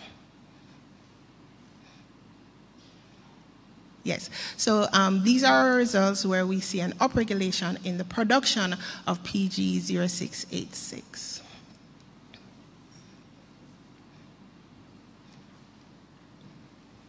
Our next step was to remove the gene and observe um, what would happen to the organism um, during this mutagenesis. So we replaced the gene itself with an erythromycin cassette which would render the mutant uh, resistant to erythromycin. After we created this mutant, we stressed both the wild type, which is W83, and the mutant with different forms of oxidative stress. In this diagram, we're showing um, a time course. So we looked at the growth over a um, 24 hour period of the cultures, and we saw that the mutant that was stressed grew significantly slower than the wild type that was stressed um, with hydrogen peroxide. Now, um, the graph is showing, or see, the time course is showing um, the growth over 24 hours, but we also plated these samples to look at the viability of the cultures. And we saw that um, we had a reduction in viability when the mutant was stressed compared to the um, wild type. Um, the survival was reduced in the wild type as well, but significantly more so in the mutant. Uh, we also tried to reintroduce the gene um, into the mutant through complementation to see if we could restore um, the wild type phenotype. However, um, we introduced a gene on a plasmid and um, it did not restore the wild type phenotype. So we believe that it must be on the chromosome and not on a plasmid in order to restore the phenotype. We also looked at um, stress studies using air or oxygen and nitric oxide, and we did see that there was a retardation in the growth of the mutant compared to the wild type. Um, so these studies are showing that um, the gene 0686 um, is uh, functioning in some way in oxidative stress resistance in P. gingivalis. Next, we looked at transcriptome analysis where we isolated the total mRNA from both of the strains, and then we compared which genes were differentially expressed. We looked at the genes that were upregulated, and we looked at the genes that were downregulated. Um, and this is a volcano plot, or these are volcano plots of the upregulated and downregulated genes when we looked at transcriptome analysis. Um, of note is uh, um, the gingipains that um, are essential for the organism's survival. And what these ginger pains do, they will break down protein so that the organism can survive. So the organism is asaccharolytic, so it doesn't use um, sugars as its primary fuel source, but proteins. And this is one of the reasons that the inflamed periodontal pocket is such a um, great environment for P. gingivalis because the immune response will cause inflammation and that exacerbates the breakdown of the gums, the breakdown of the proteins that we find in our mouths and, and P. gingivalis thrives in those conditions. So, um, in terms of our genetic studies, we found that removing the gene um, resulted in um, sensitivity to oxidative stress. So, the PG0686 mutagenesis impeded the ability of P. gingivalis to respond to oxidative stress, indicating that this gene functions in oxidative stress resistance in some way. Now that we confirmed some of the data that we had seen before, and we did our um, reactive oxygen species sensitivity study, we wanted a direction. We, this was a hypothetical protein, and we didn't know anything about it at all. Okay? It had all the markers that a protein would be expressed, um, but it was never expressed before, and we had no idea what the function would be. Um, so we were going ahead doing the genetic studies, but in terms of the protein studies, where do we go from there? And this is where bioinformatics um, analyses were very important, where we use computer technology to analyze biological data. So we were able to get the protein sequence um, from NC, NCBI um, database, and then we were able to do a BLAST analysis, that's a basic local alignment um, analysis, um, to compare the sequence of the protein with other proteins um, that were in the database. And what we found um, was, you know, when you do these blast analyses, you get over 500, over 1,000 sometimes results. And so we had to comb through that and we were able to um, select just a few proteins to make this phylogenetic tree where we we were able to look at the similarities between these proteins.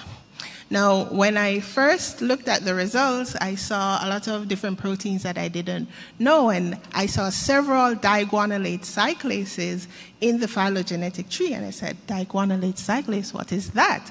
And so that's where we started to uh, research what these diguanylate cyclases could do. And so we found that this uh, PG0686 was related um, to these diguanylates cyclases. And there have been some diguanylate cyclases that were previously studied. And not just previously studied, extensively studied. Um, so those are the diguanylate cyclases identified in the phylogenetic tree. Now we're able also to send the protein sequence to ITASA, um, which is an online database where you can send in the protein you can send in the protein sequence and they do a model of the protein for you. And then they send it back to you after um, it used to be two days but now that it's heavily trafficked it's about a week or two weeks now um, to get back your results. And what what we found was that there were three major domains in this protein. Where the blue domain is the hemerythrin domain, the pink domain is the PAS domain, and then we had a domain of unknown function um, present in the protein. Um, so that's the model of the protein and also the sequence, the protein sequence with the different domains highlighted. So this is a model that we received um, when we sent in our protein sequence to be modeled. And um, we are seeing in the blue, again, um, we have four alpha helices that form this hemerythrin domain. And then we have in pink those beta sheets that are forming the PAS domain. Um, we're able also to use Swiss Model. So um, Swiss Model is a database online that you can plug in your um, amino acid sequence and it will um, compare it to other sequences that are there. And um, the second model that has two of these structures, um, Swiss model was predicting that it was a dimeric protein, so we had two subunits um, in that structure, which is interesting because most of the diguanylate cyclases that have been previously described and studied are multimeric. So we were excited about that, that um, we were getting a multimeric protein from the modeling. And the two bottom structures are showing the potential binding sites um, for the hemerythrin domain and for the PAS domain. In the hemerythrin domain, which is the blue um, structure, um, there is predicted to be an iron center where oxygen can bind. And on the pink, there's predicted to be a phosphate binding um, pocket um, where any phosphates can bind. That was also exciting because diguanylate cyclases, what they do is they convert GTP to uh, cyclic di-GMP. So the um, uh, prediction of the phosphate binding site was also very exciting for us. So with the modeling now, we wanted to compare our model, our protein model, to other diguanylate cyclases that were previously um, studied. And when we did that, however, we did not get a good score. We did not get a good alignment with the previously studied diguanylate cyclases. So that was a bit discouraging because we were expecting that they would have similar structures since we were um, postulating that our protein was a diguanylate cyclase. However, we did find some other diguanylate cyclases. They were labeled diguanylate cyclases, um, but they did not have the features of a diguanylate cyclase, which we will we'll get into um, a little further. However, the alignment with our protein um, was very high, so they were very similar in structure. So what we had now was um, previously studied diguanylate cyclases. The active site was I previously identified, and they knew what those active site sequences were. And those were not lining up at all with our protein. Um, this is um, an alignment between PG0686 protein and the studied diguanylate cyclases. And as you can see with the alignments, uh, we are not seeing a lot of um, similarities between the sequences. Uh, we use uh, Clustal Omega for this alignment. So that's another bioinformatic tool that you can use online where you put in the sequences for the proteins that you want to compare and an alignment is done to see if there are similar um, sequences in the structures. And what we found was that when we aligned our protein to the previously studied diguanylate cyclases, we did not see the complementarity, or we did not see the structural similarities that we were expecting. Um, on the right, we have the diguanylate cyclases themselves being aligned with each other.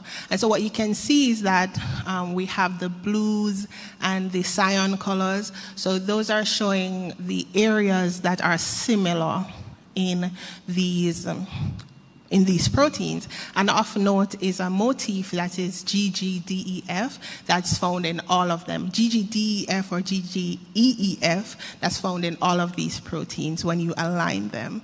Um, it's one of those dark um, blue areas that we see in the alignment. However, our protein did not have this GGDEF or EEF motif at all. So now we're wondering, okay, is it really a diguanylate cyclase? we were not sure. However, we did find some other diguanylate cyclases or proteins that were annotated as diguanylate cyclases but did not have this GGDEF motif. And this is the alignment between these annotated diguanylate cyclases. So you can see that there are many areas of similarities between our proteins and these, our protein and these proteins.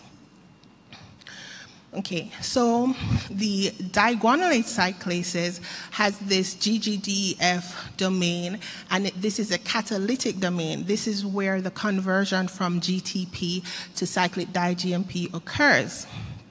And um, this cyclic di-GMP uh, is a second messenger that we can find in many species of bacteria.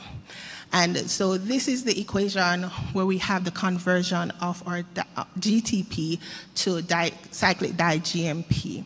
Now the question was, does our protein catalyze this reaction? And if it does, um, where's the catalytic site?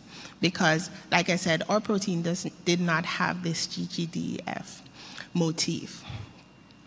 Now, uh, um, we were able to overexpress the protein, and um, um, we used mass spec to confirm the recombinant protein that we overexpressed. Okay.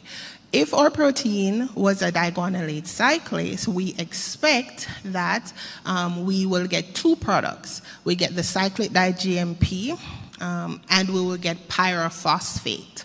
Okay, so what we plan to do and what we did do was assayed for both of these products. We wanted to do an assay to find out if pyrophosphate was um, um, present, and we have a, there are a lot of pyrophosphate or phosphate kits out there, um, so you can just get a kit and do that.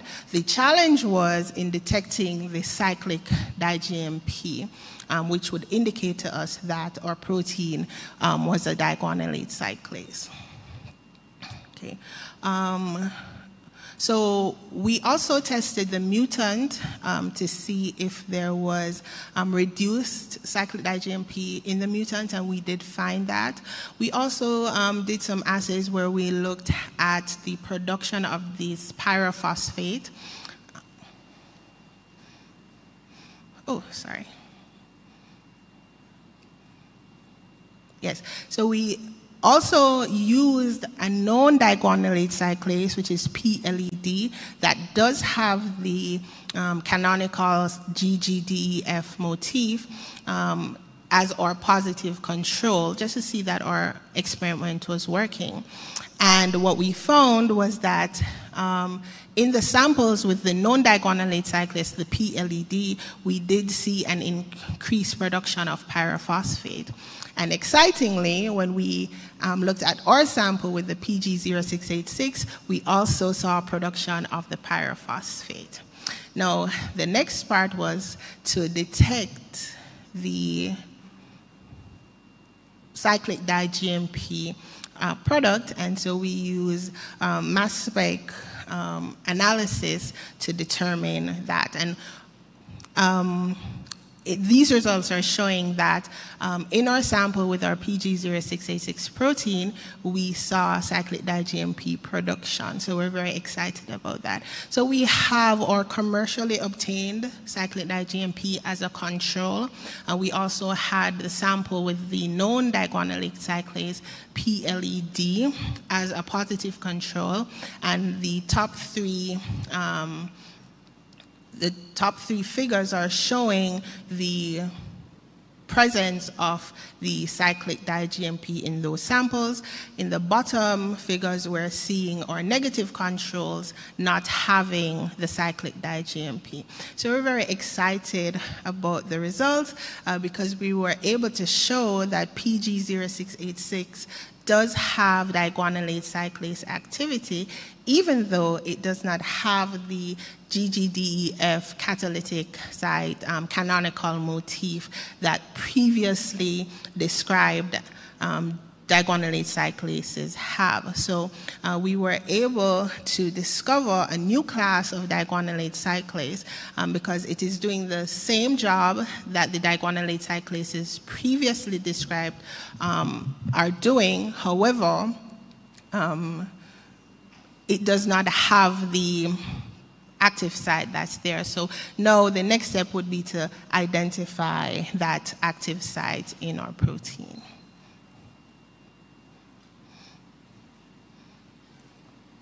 Okay, um, so in conclusion, um, we were able to show that our protein is a multimeric protein, that it has um, cyclase activity.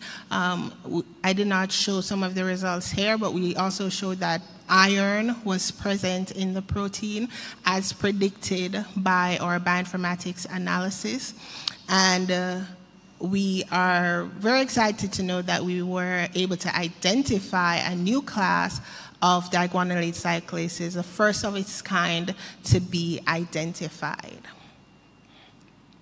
Okay, um, that's it for my talk. Want to um, acknowledge um, those who have helped me, those that were in my lab. Special thanks to my professors from Loma Linda um, University, and thank you for listening.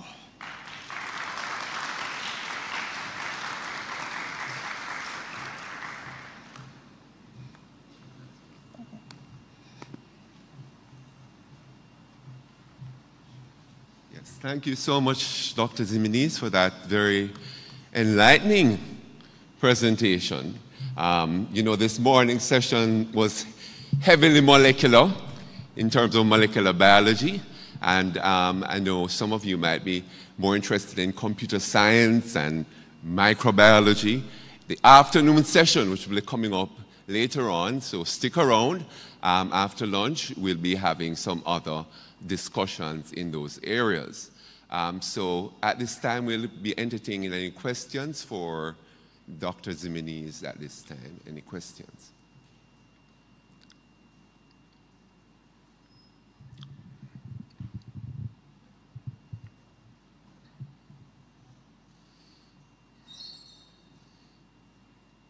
Okay, I think.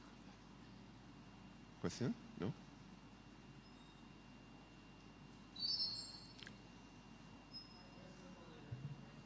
Oh, there's a question at the. If I.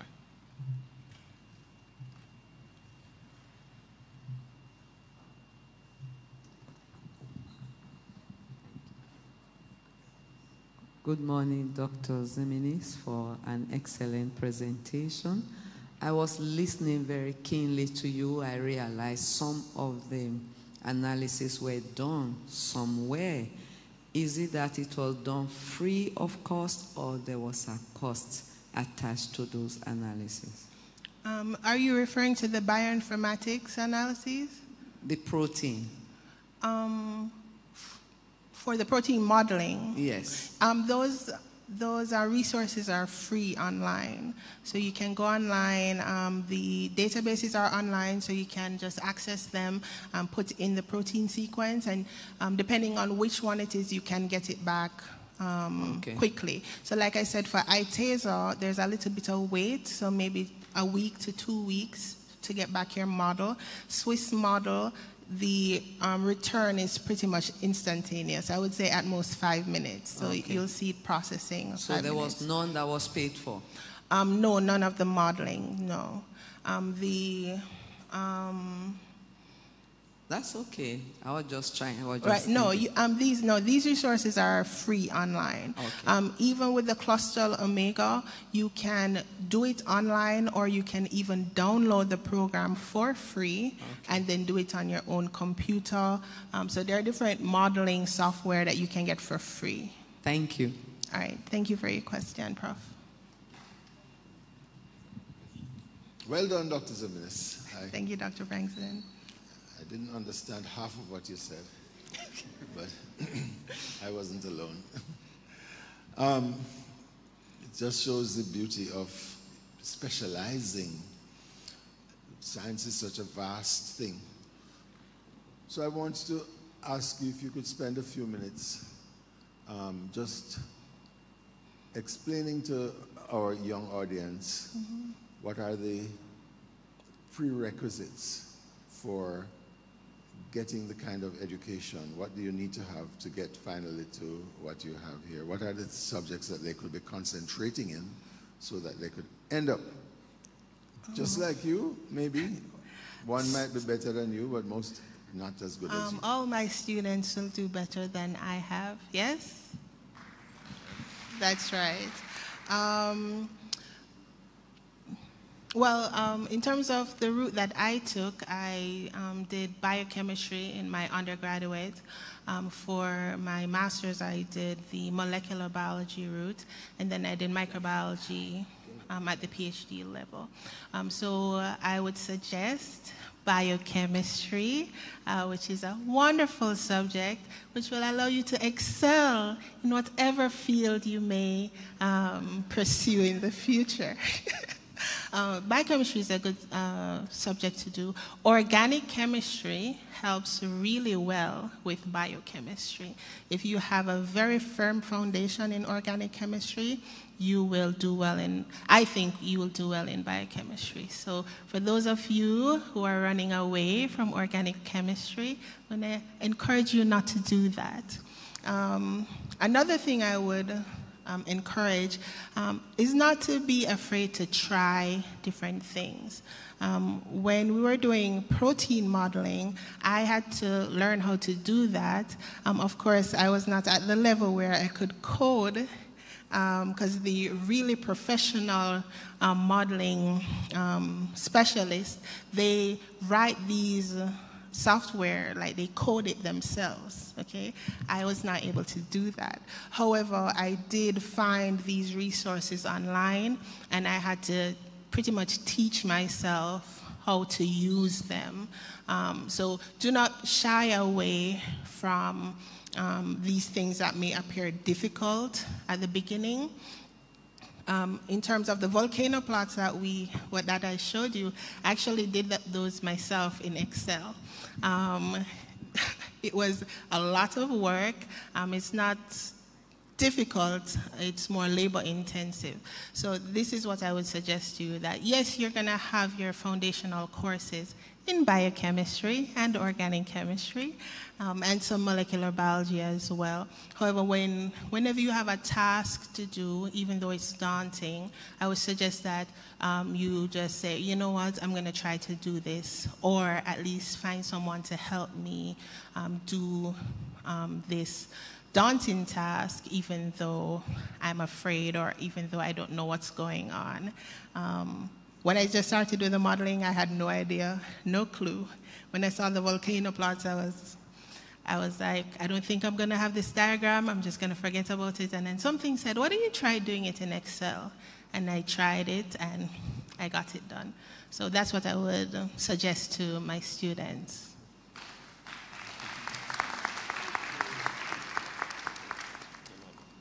Um, there's a question.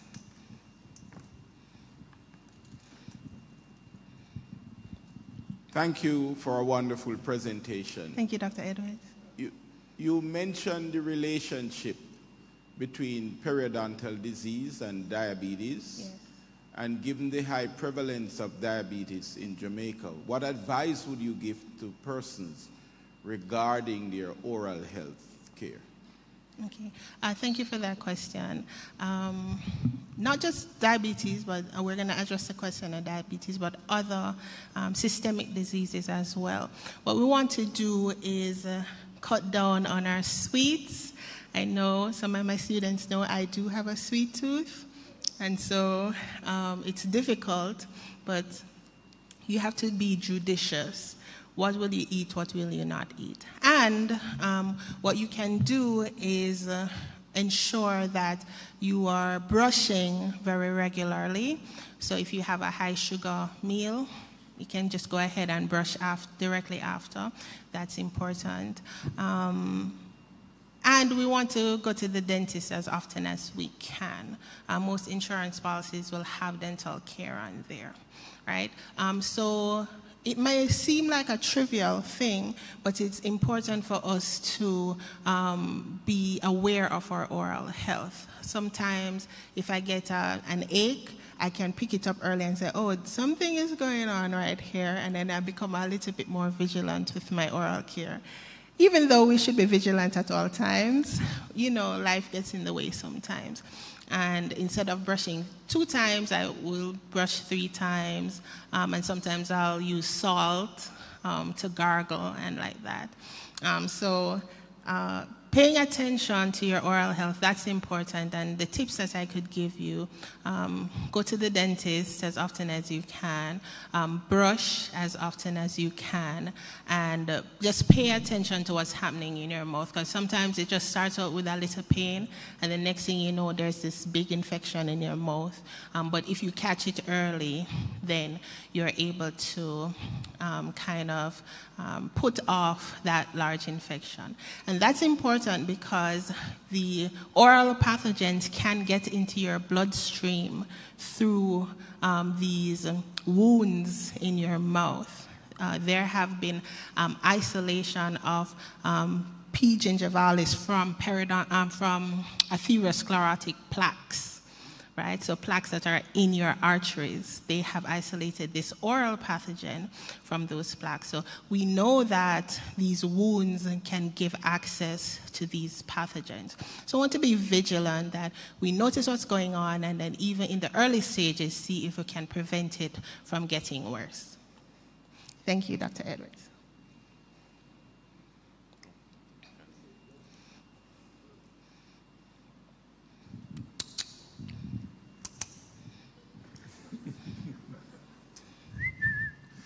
Uh, just a question, uh, uh, just a comment actually, um, just in case we think we should only go to the dentist.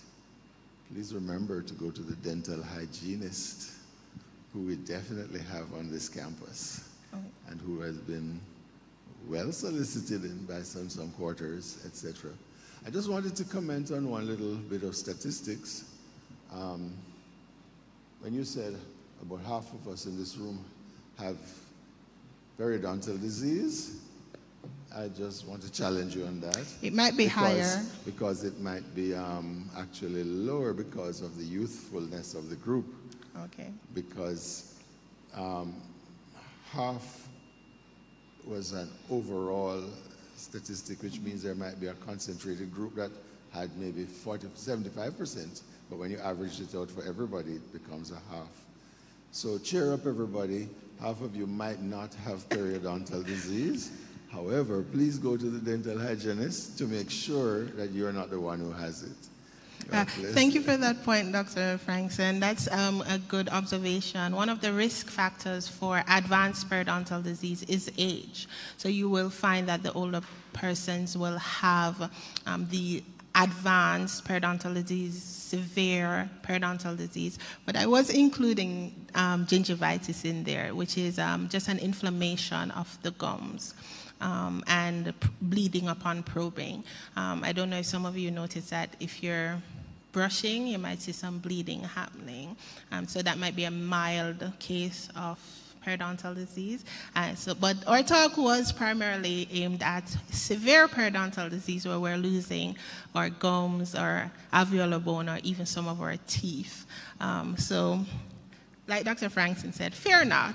uh, you may not have advanced periodontal disease. But we are going to encourage you to pay attention to your oral health because it will help you with your overall health. Thank you. Okay, well done. I think that's it. Um, thank you so much for, for that input. And um, I'm sure a lot of the young persons here would have learned um, something about a scientific career. You know, a lot of what person, people do in medicine, um, what doctors get, uh, the, the, the, the, diagnosis that doctors make, um, a lot of that, those diagnoses actually come from um, research that has been done at the molecular level. And so a lot of what Dr. Ximenes was talking about, you know, some of it may have gone over our heads, but a lot of it is, is, is the groundwork for many of those breakthrough um, findings that we hear in the medical area. And so we, we thank her for that, that, that um, presentation. Um, and at this time, there's um, on the schedule it says announcements. I know there's a there's a geological museum at the back with Dr. Miller. Um, so during the, the intermission, I guess if you are interested, you could go there and look at some, some, some of the specimens that he has there as a, a, a diverse collection of rocks um, um, at the back, and you can go there and look at those. There's also some posters that are um, put up on the side. I'm not seeing many, but there are a few. Um, and at this time, we're going to be having a, oh, there are some at that side. Um, yeah, during the intermission, we can all have a look at those. And at this time, we're going to be having a, a book launch um, for Professor Harris. So I'm going to be inviting the persons who are involved in that to come forward at this moment.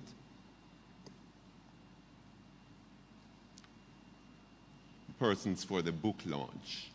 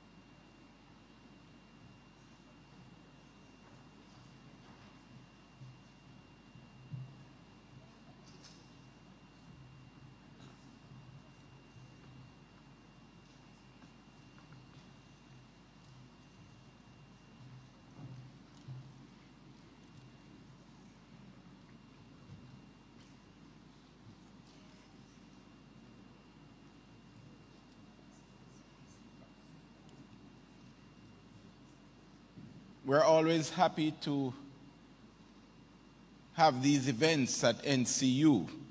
Uh, Professor ha Harris had a previous book launch, and then Professor Errol Miller, uh, Professor Emeritus from the University of the West Indies, also had a book launch here that was held in the chapel uh, about maybe a month ago or so, uh, where he's had two volumes that he presented on the work of the Seventh day Adventist Church um, during the colonial era.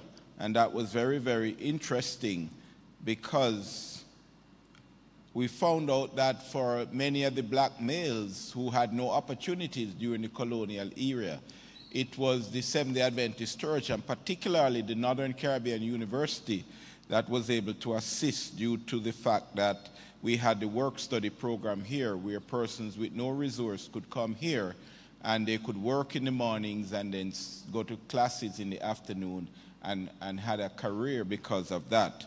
So Northern Caribbean University continues to celebrate the achievements in the field of research by Professor Mark Harris from the Department of Biology, Chemistry, and Environmental Science in the College of Natural and Applied Sciences, Allied Health, and Nursing.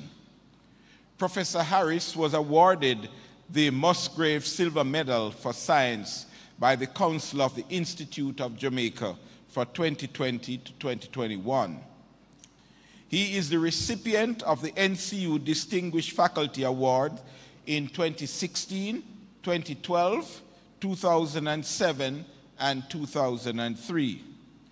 He is a consummate researcher with an extensive body of work, and I'll highlight some of those. Uh, he's the world record holder jointly with CK Kumsoon for cyanide removal, 87% removal from grated bitter cassava, which paralyzes thousands of children in sub Saharan Africa using moisture pressure treatments. And that work was published in the Journal of Food Science some years ago. He has also been instrumental in the long life treated bamboo yam stick to reduce tropical deforestation using cold water in situ dissolution of bamboo starch by alcoholic alkali in an anaerobic bioreactor. And that work was published in the International Journal of Environmental Science and Technology. He has also come up with a method for reducing the world's wind-blown bauxite red mud mine dust. Dust reduction in bauxite red mud waste using carbonation, gypsum, and flocculation. And again, that was published in Environmental Earth Sciences. He has also uh, produced a humidifier which increases root initiation and germination of sweet potato cuttings in dry soils because drying climates can destroy cuttings before planting and after planting. And that work was published in the Journal of Agricultural Science. Professor Harris has written uh, several peer reviewed uh, publications and has authored several books. In 2016, he wrote Geobiotechnological Solutions to Anthropogenic Disturbances, a Caribbean Perspectives. In 2019, he wrote Confronting Global Climate Change Experiments and Applications in the Tropics. And his latest book, which we are here to launch, is The Science of Global Warming Remediation, right there, which addresses the critical issue of climate change. And he, Professor Harris, will tell you more about um, the book. So, on behalf of the College of Natural and Applied Sciences, Allied Health and Nursing, as well as the wider university family, I extend congratulations and highest commendation to Professor Harris for continuing to be the institution's ambassador in the field of research and scientific inventions. His success is a demonstration of the inventive and innovative culture that pervades NCU. Here we build character, creativity, and competence. And so Professor Harris will talk about the book, and when you hear about the book, uh, my advice and encouragement to you is to buy the book and to read the book so that the work that has gone into producing the, this book will, will certainly not go to waste, but that we will gain the knowledge that Professor Harris has worked so hard to ensure that is made available. So a round of applause for Professor Harris. Thank you.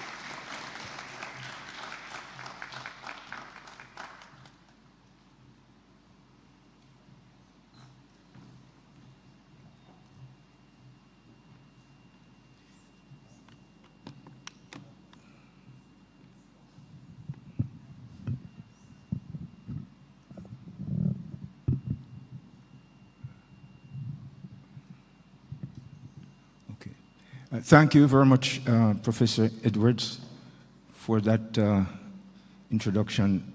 Um, so,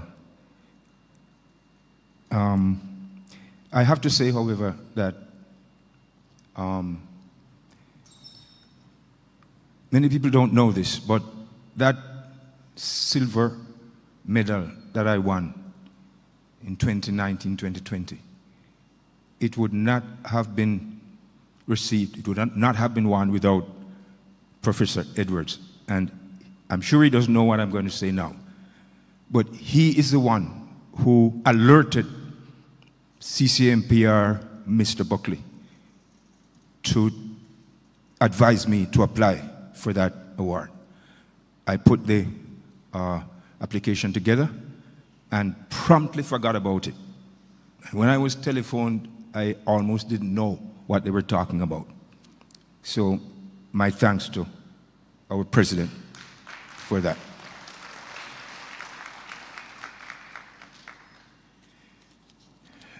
I was also told by Mr. Buckley that I shouldn't talk for half an hour. I was not very happy that he said that because everybody here in, at, at NCU knows me as a brief speaker. All right? All right. Um, let me just say, however, that uh, the reason for the writing of this book, I considered two reviews of the 2019 book, Confronting Global Climate Change Experiments and Applications in the Tropics. The two reviews came from, one came from Professor Larry Erickson, uh, Professor Emeritus for Chemistry at Kansas State University. His review came and I read it. Also, a review from Christopher Serju of the Daily Gleaner, Jamaica. It was striking that they both said the, just about word for word the same things, and they did not know each other. So I said, if two people who are professionals in their field say something to you, you should listen, especially if they had no contact with each other. And what uh, each person said is that there's one chapter in that book I think it's Appendix 3, which addressed every chapter with a problem and solution. And they highlighted that very uh, starkly. Yes.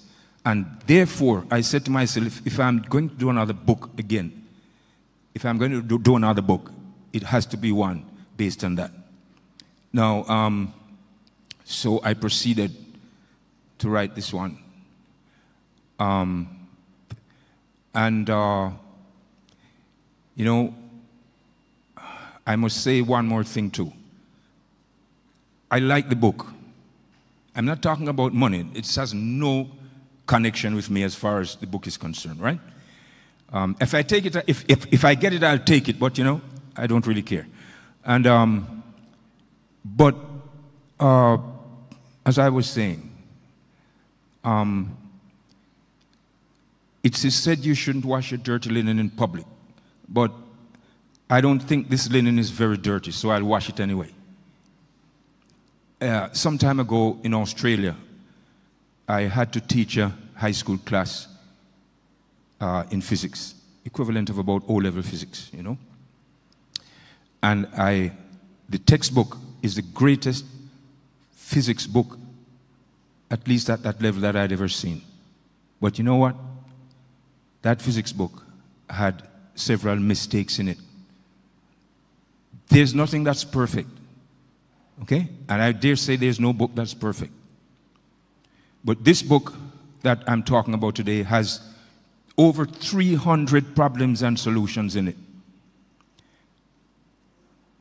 But having read it over, after I got the hard copy back, after doing so many revisions of the book, could you believe that I found some mistakes in it? I found about, of the 300 problems, there are about uh, four which have mistakes. All right? And some people may say small mistakes, but they are mistakes anyway. Four out of 300. Uh, I'm not happy with that, but uh, I tried. okay? So if anybody buys the book, I have the corrections and I can send the corrections to them for those few uh, problems. Okay. Um, the next thing I'd like to say um, is to go to just some highlights of this work. And I'd like to,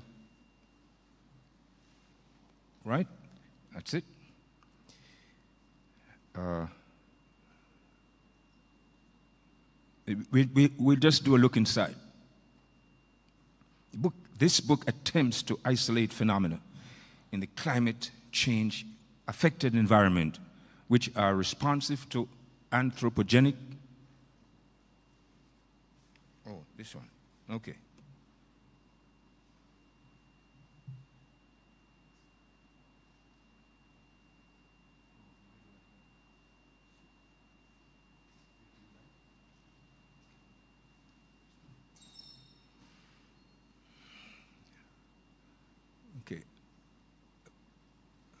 I've never had this one before, so I'm looking at you and speaking on that, right? Not on my computer. Is that what you're saying? Okay, but it's not working.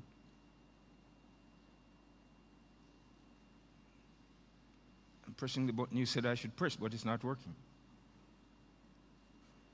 I'm not seeing anything. What's going on?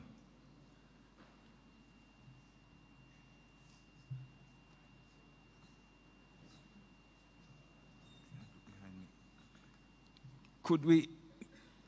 Yeah, but you know, I can't be very well be looking back at the screen, you know. Eh? Yeah, well, uh, yeah, I, I prefer to use my computer. So I'm just. So when I change a slide, it will. You'll, you'll do it. All right. Okay. I am at uh, second slide. All right. There you go. Not seeing anything. I mean, this is technology 2024. okay.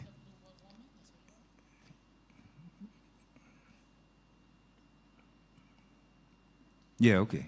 I'm here.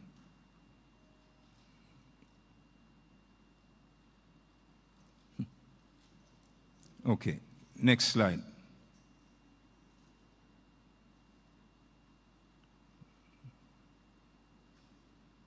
Okay.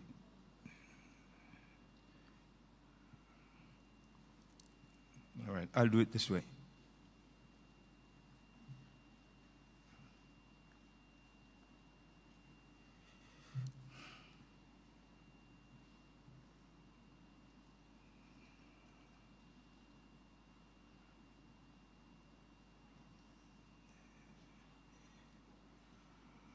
Well, I'm sorry, I don't think this is working out, okay?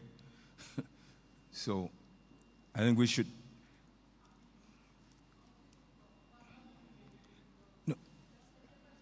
I'm not seeing any changes up there.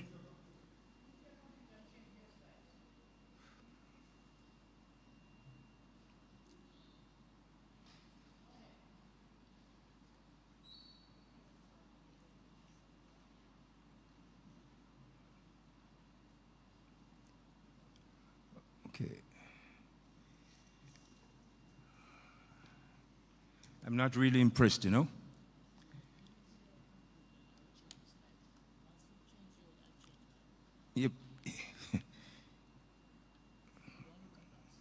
All right, all right. Okay.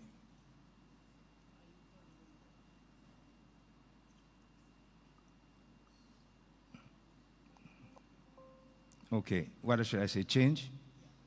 Okay.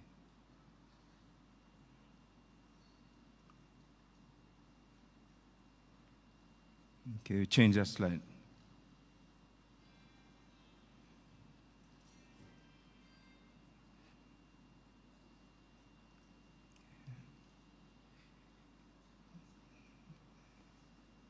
All right, so you should be seeing section one, greenhouse gases and sequestration, section two, air quality, section three, water quality and quantity, and four, land remediation. Of course, I skipped out some of these slides. And I see here comprising 376 pages. The text adopts the problems and solutions format such that the reader sees several worked examples following each subtopic in every chapter. Two main themes occur in this book. Are, are, are we together there?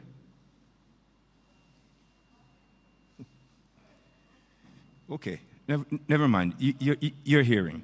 Firstly, the main contributors to climate change are the rise in global warming and greenhouse gas emissions. While certain carbon dioxide emissions account for more than 77% of these changes. Secondly, there is a water problem, which comes with global warming.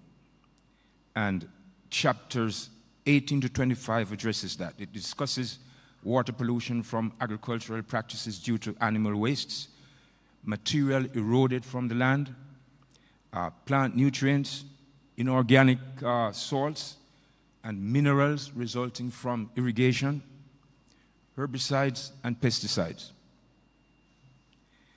To these may be added various infectious agents contained in wastes which pollute water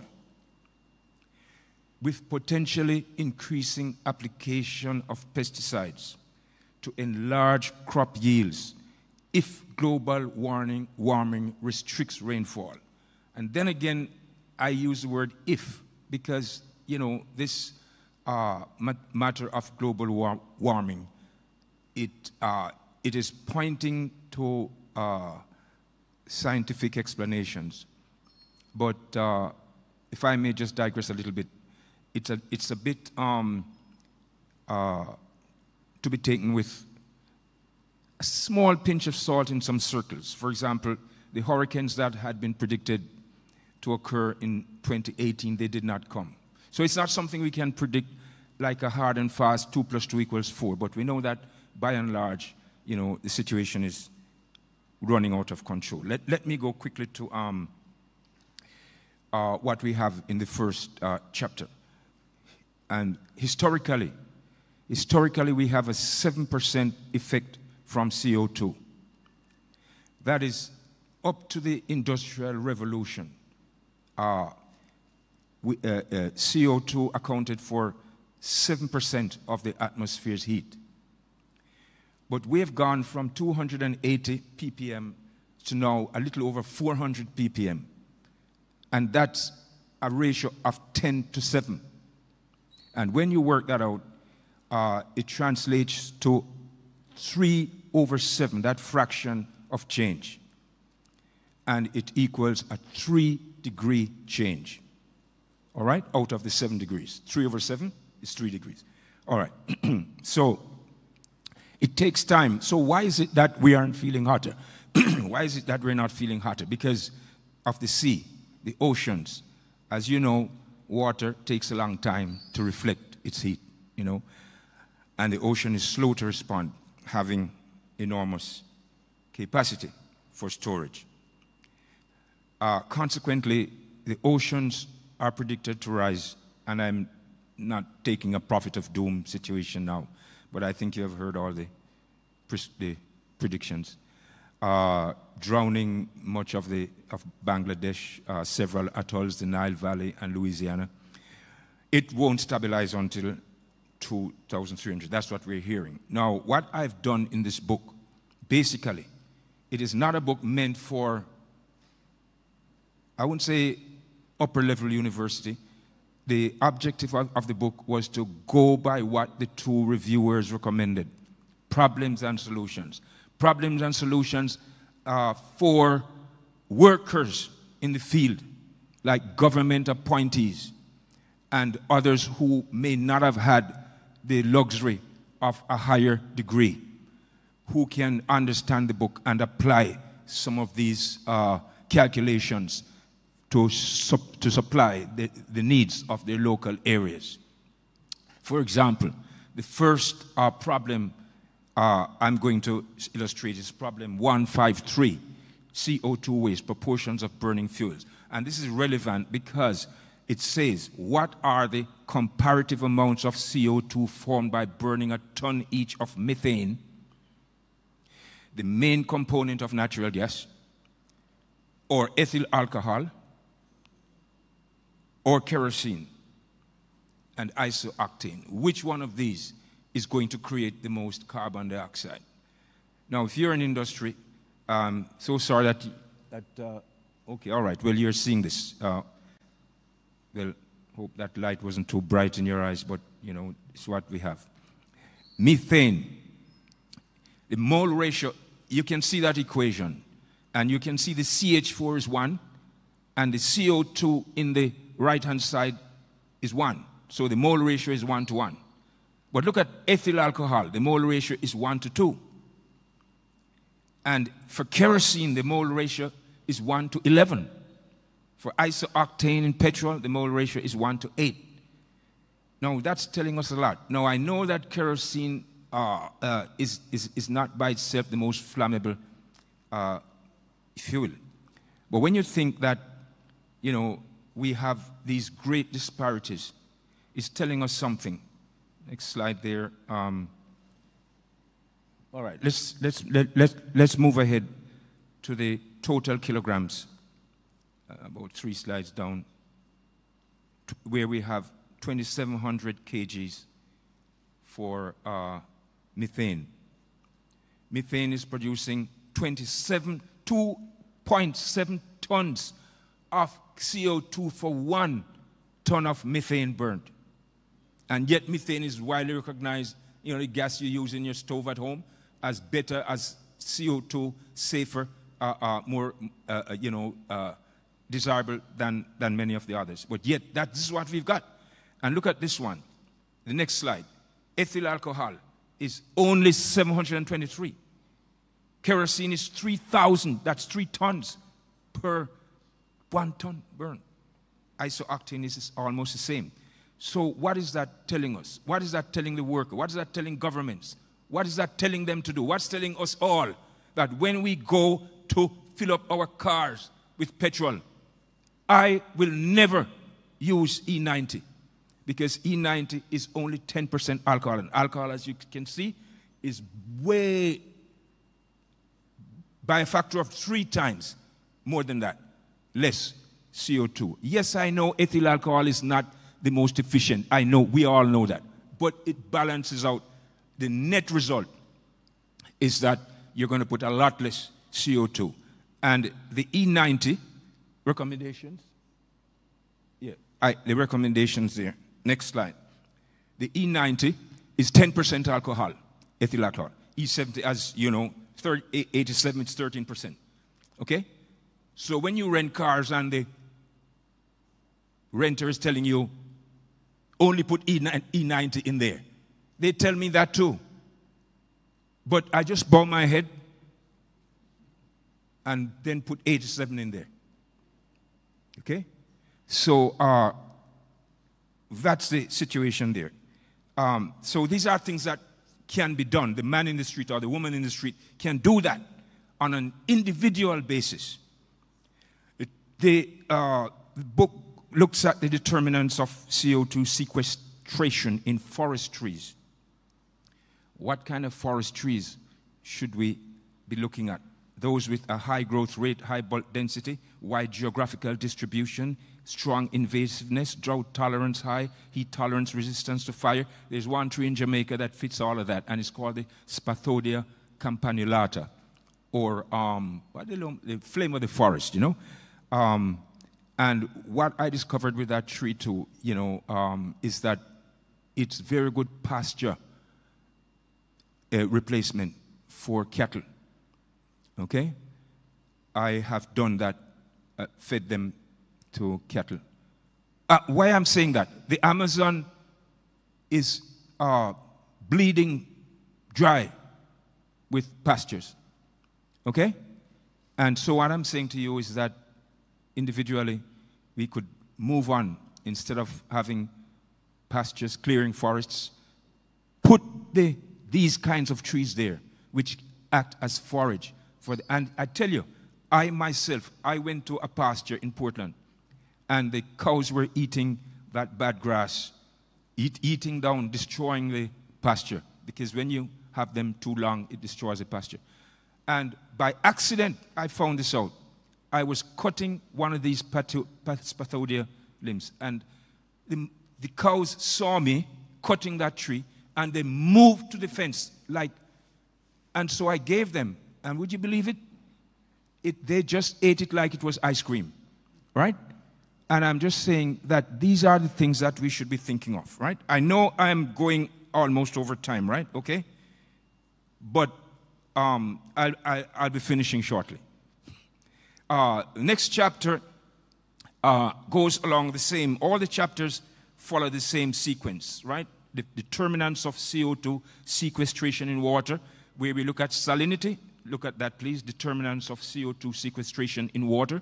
Uh, what is keeping it back? You know, I put the is greater sign or is less sign there. Less, the less salinity you have is the better. The greater depth, the better for sequestration. The lower the pH, the better, because CO2 dissolves, as you know, rapidly, uh, intensely at lower pH. The, the, the temperature, as we know, down also. High temperatures don't dissolve it very well. Density, obviously, greater density, more uh, solution, and less total dissolved solids. So the chapters, as I said, we are, we are basing uh, the problems and solutions uh, largely on some of these uh, criterion, criteria so that uh, the person who reads can have a, a I should say, a very useful um, interpretation and that they can apply it to problems that uh, confront countries, states, towns, and even the local person at home. Thank you very much. And I apologize for not being very happy with situations. You know, everybody knows me as a person who's very volatile, right? But uh, that's just me. I try to stop it, but uh, so I'm just going to live with it. Thank you very much.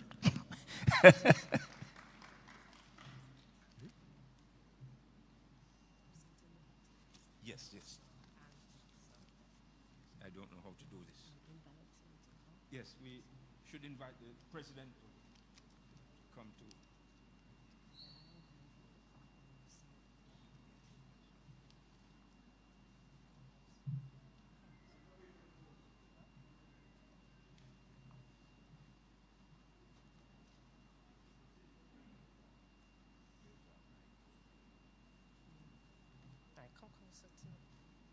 All right, take so- enough? All right, say what you have to say, and then we take it. Speak at the mic, and then.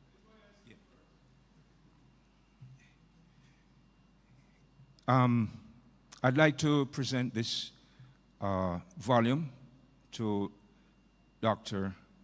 President Professor Lincoln Edwards of Northern Caribbean University uh, as a token uh, of uh, solidarity with the problems we face in the world regarding climate change. Thank you very much.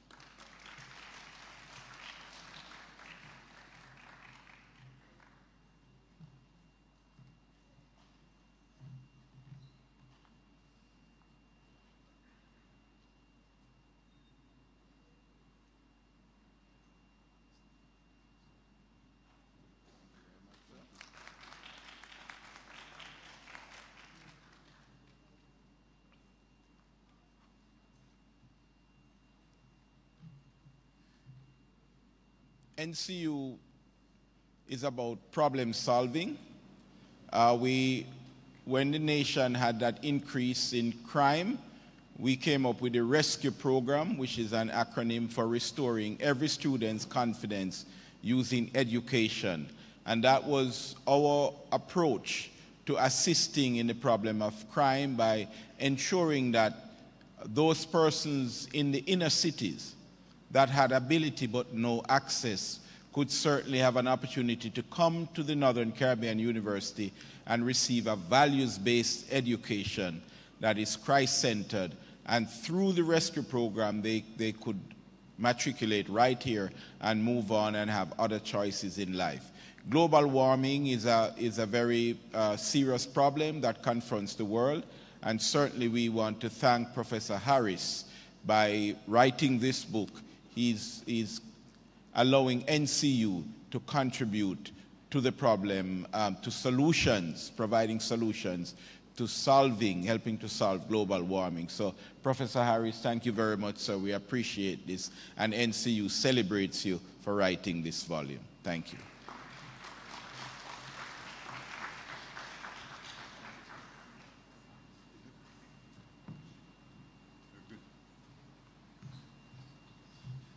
Yes, and that is a fitting way for us to end the, first session of the Science Symposium.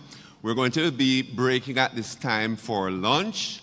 Um, there's a cafeteria up on the campus, and um, I know there will be a special lunch for the um, presenters and faculty over by the Thai Center.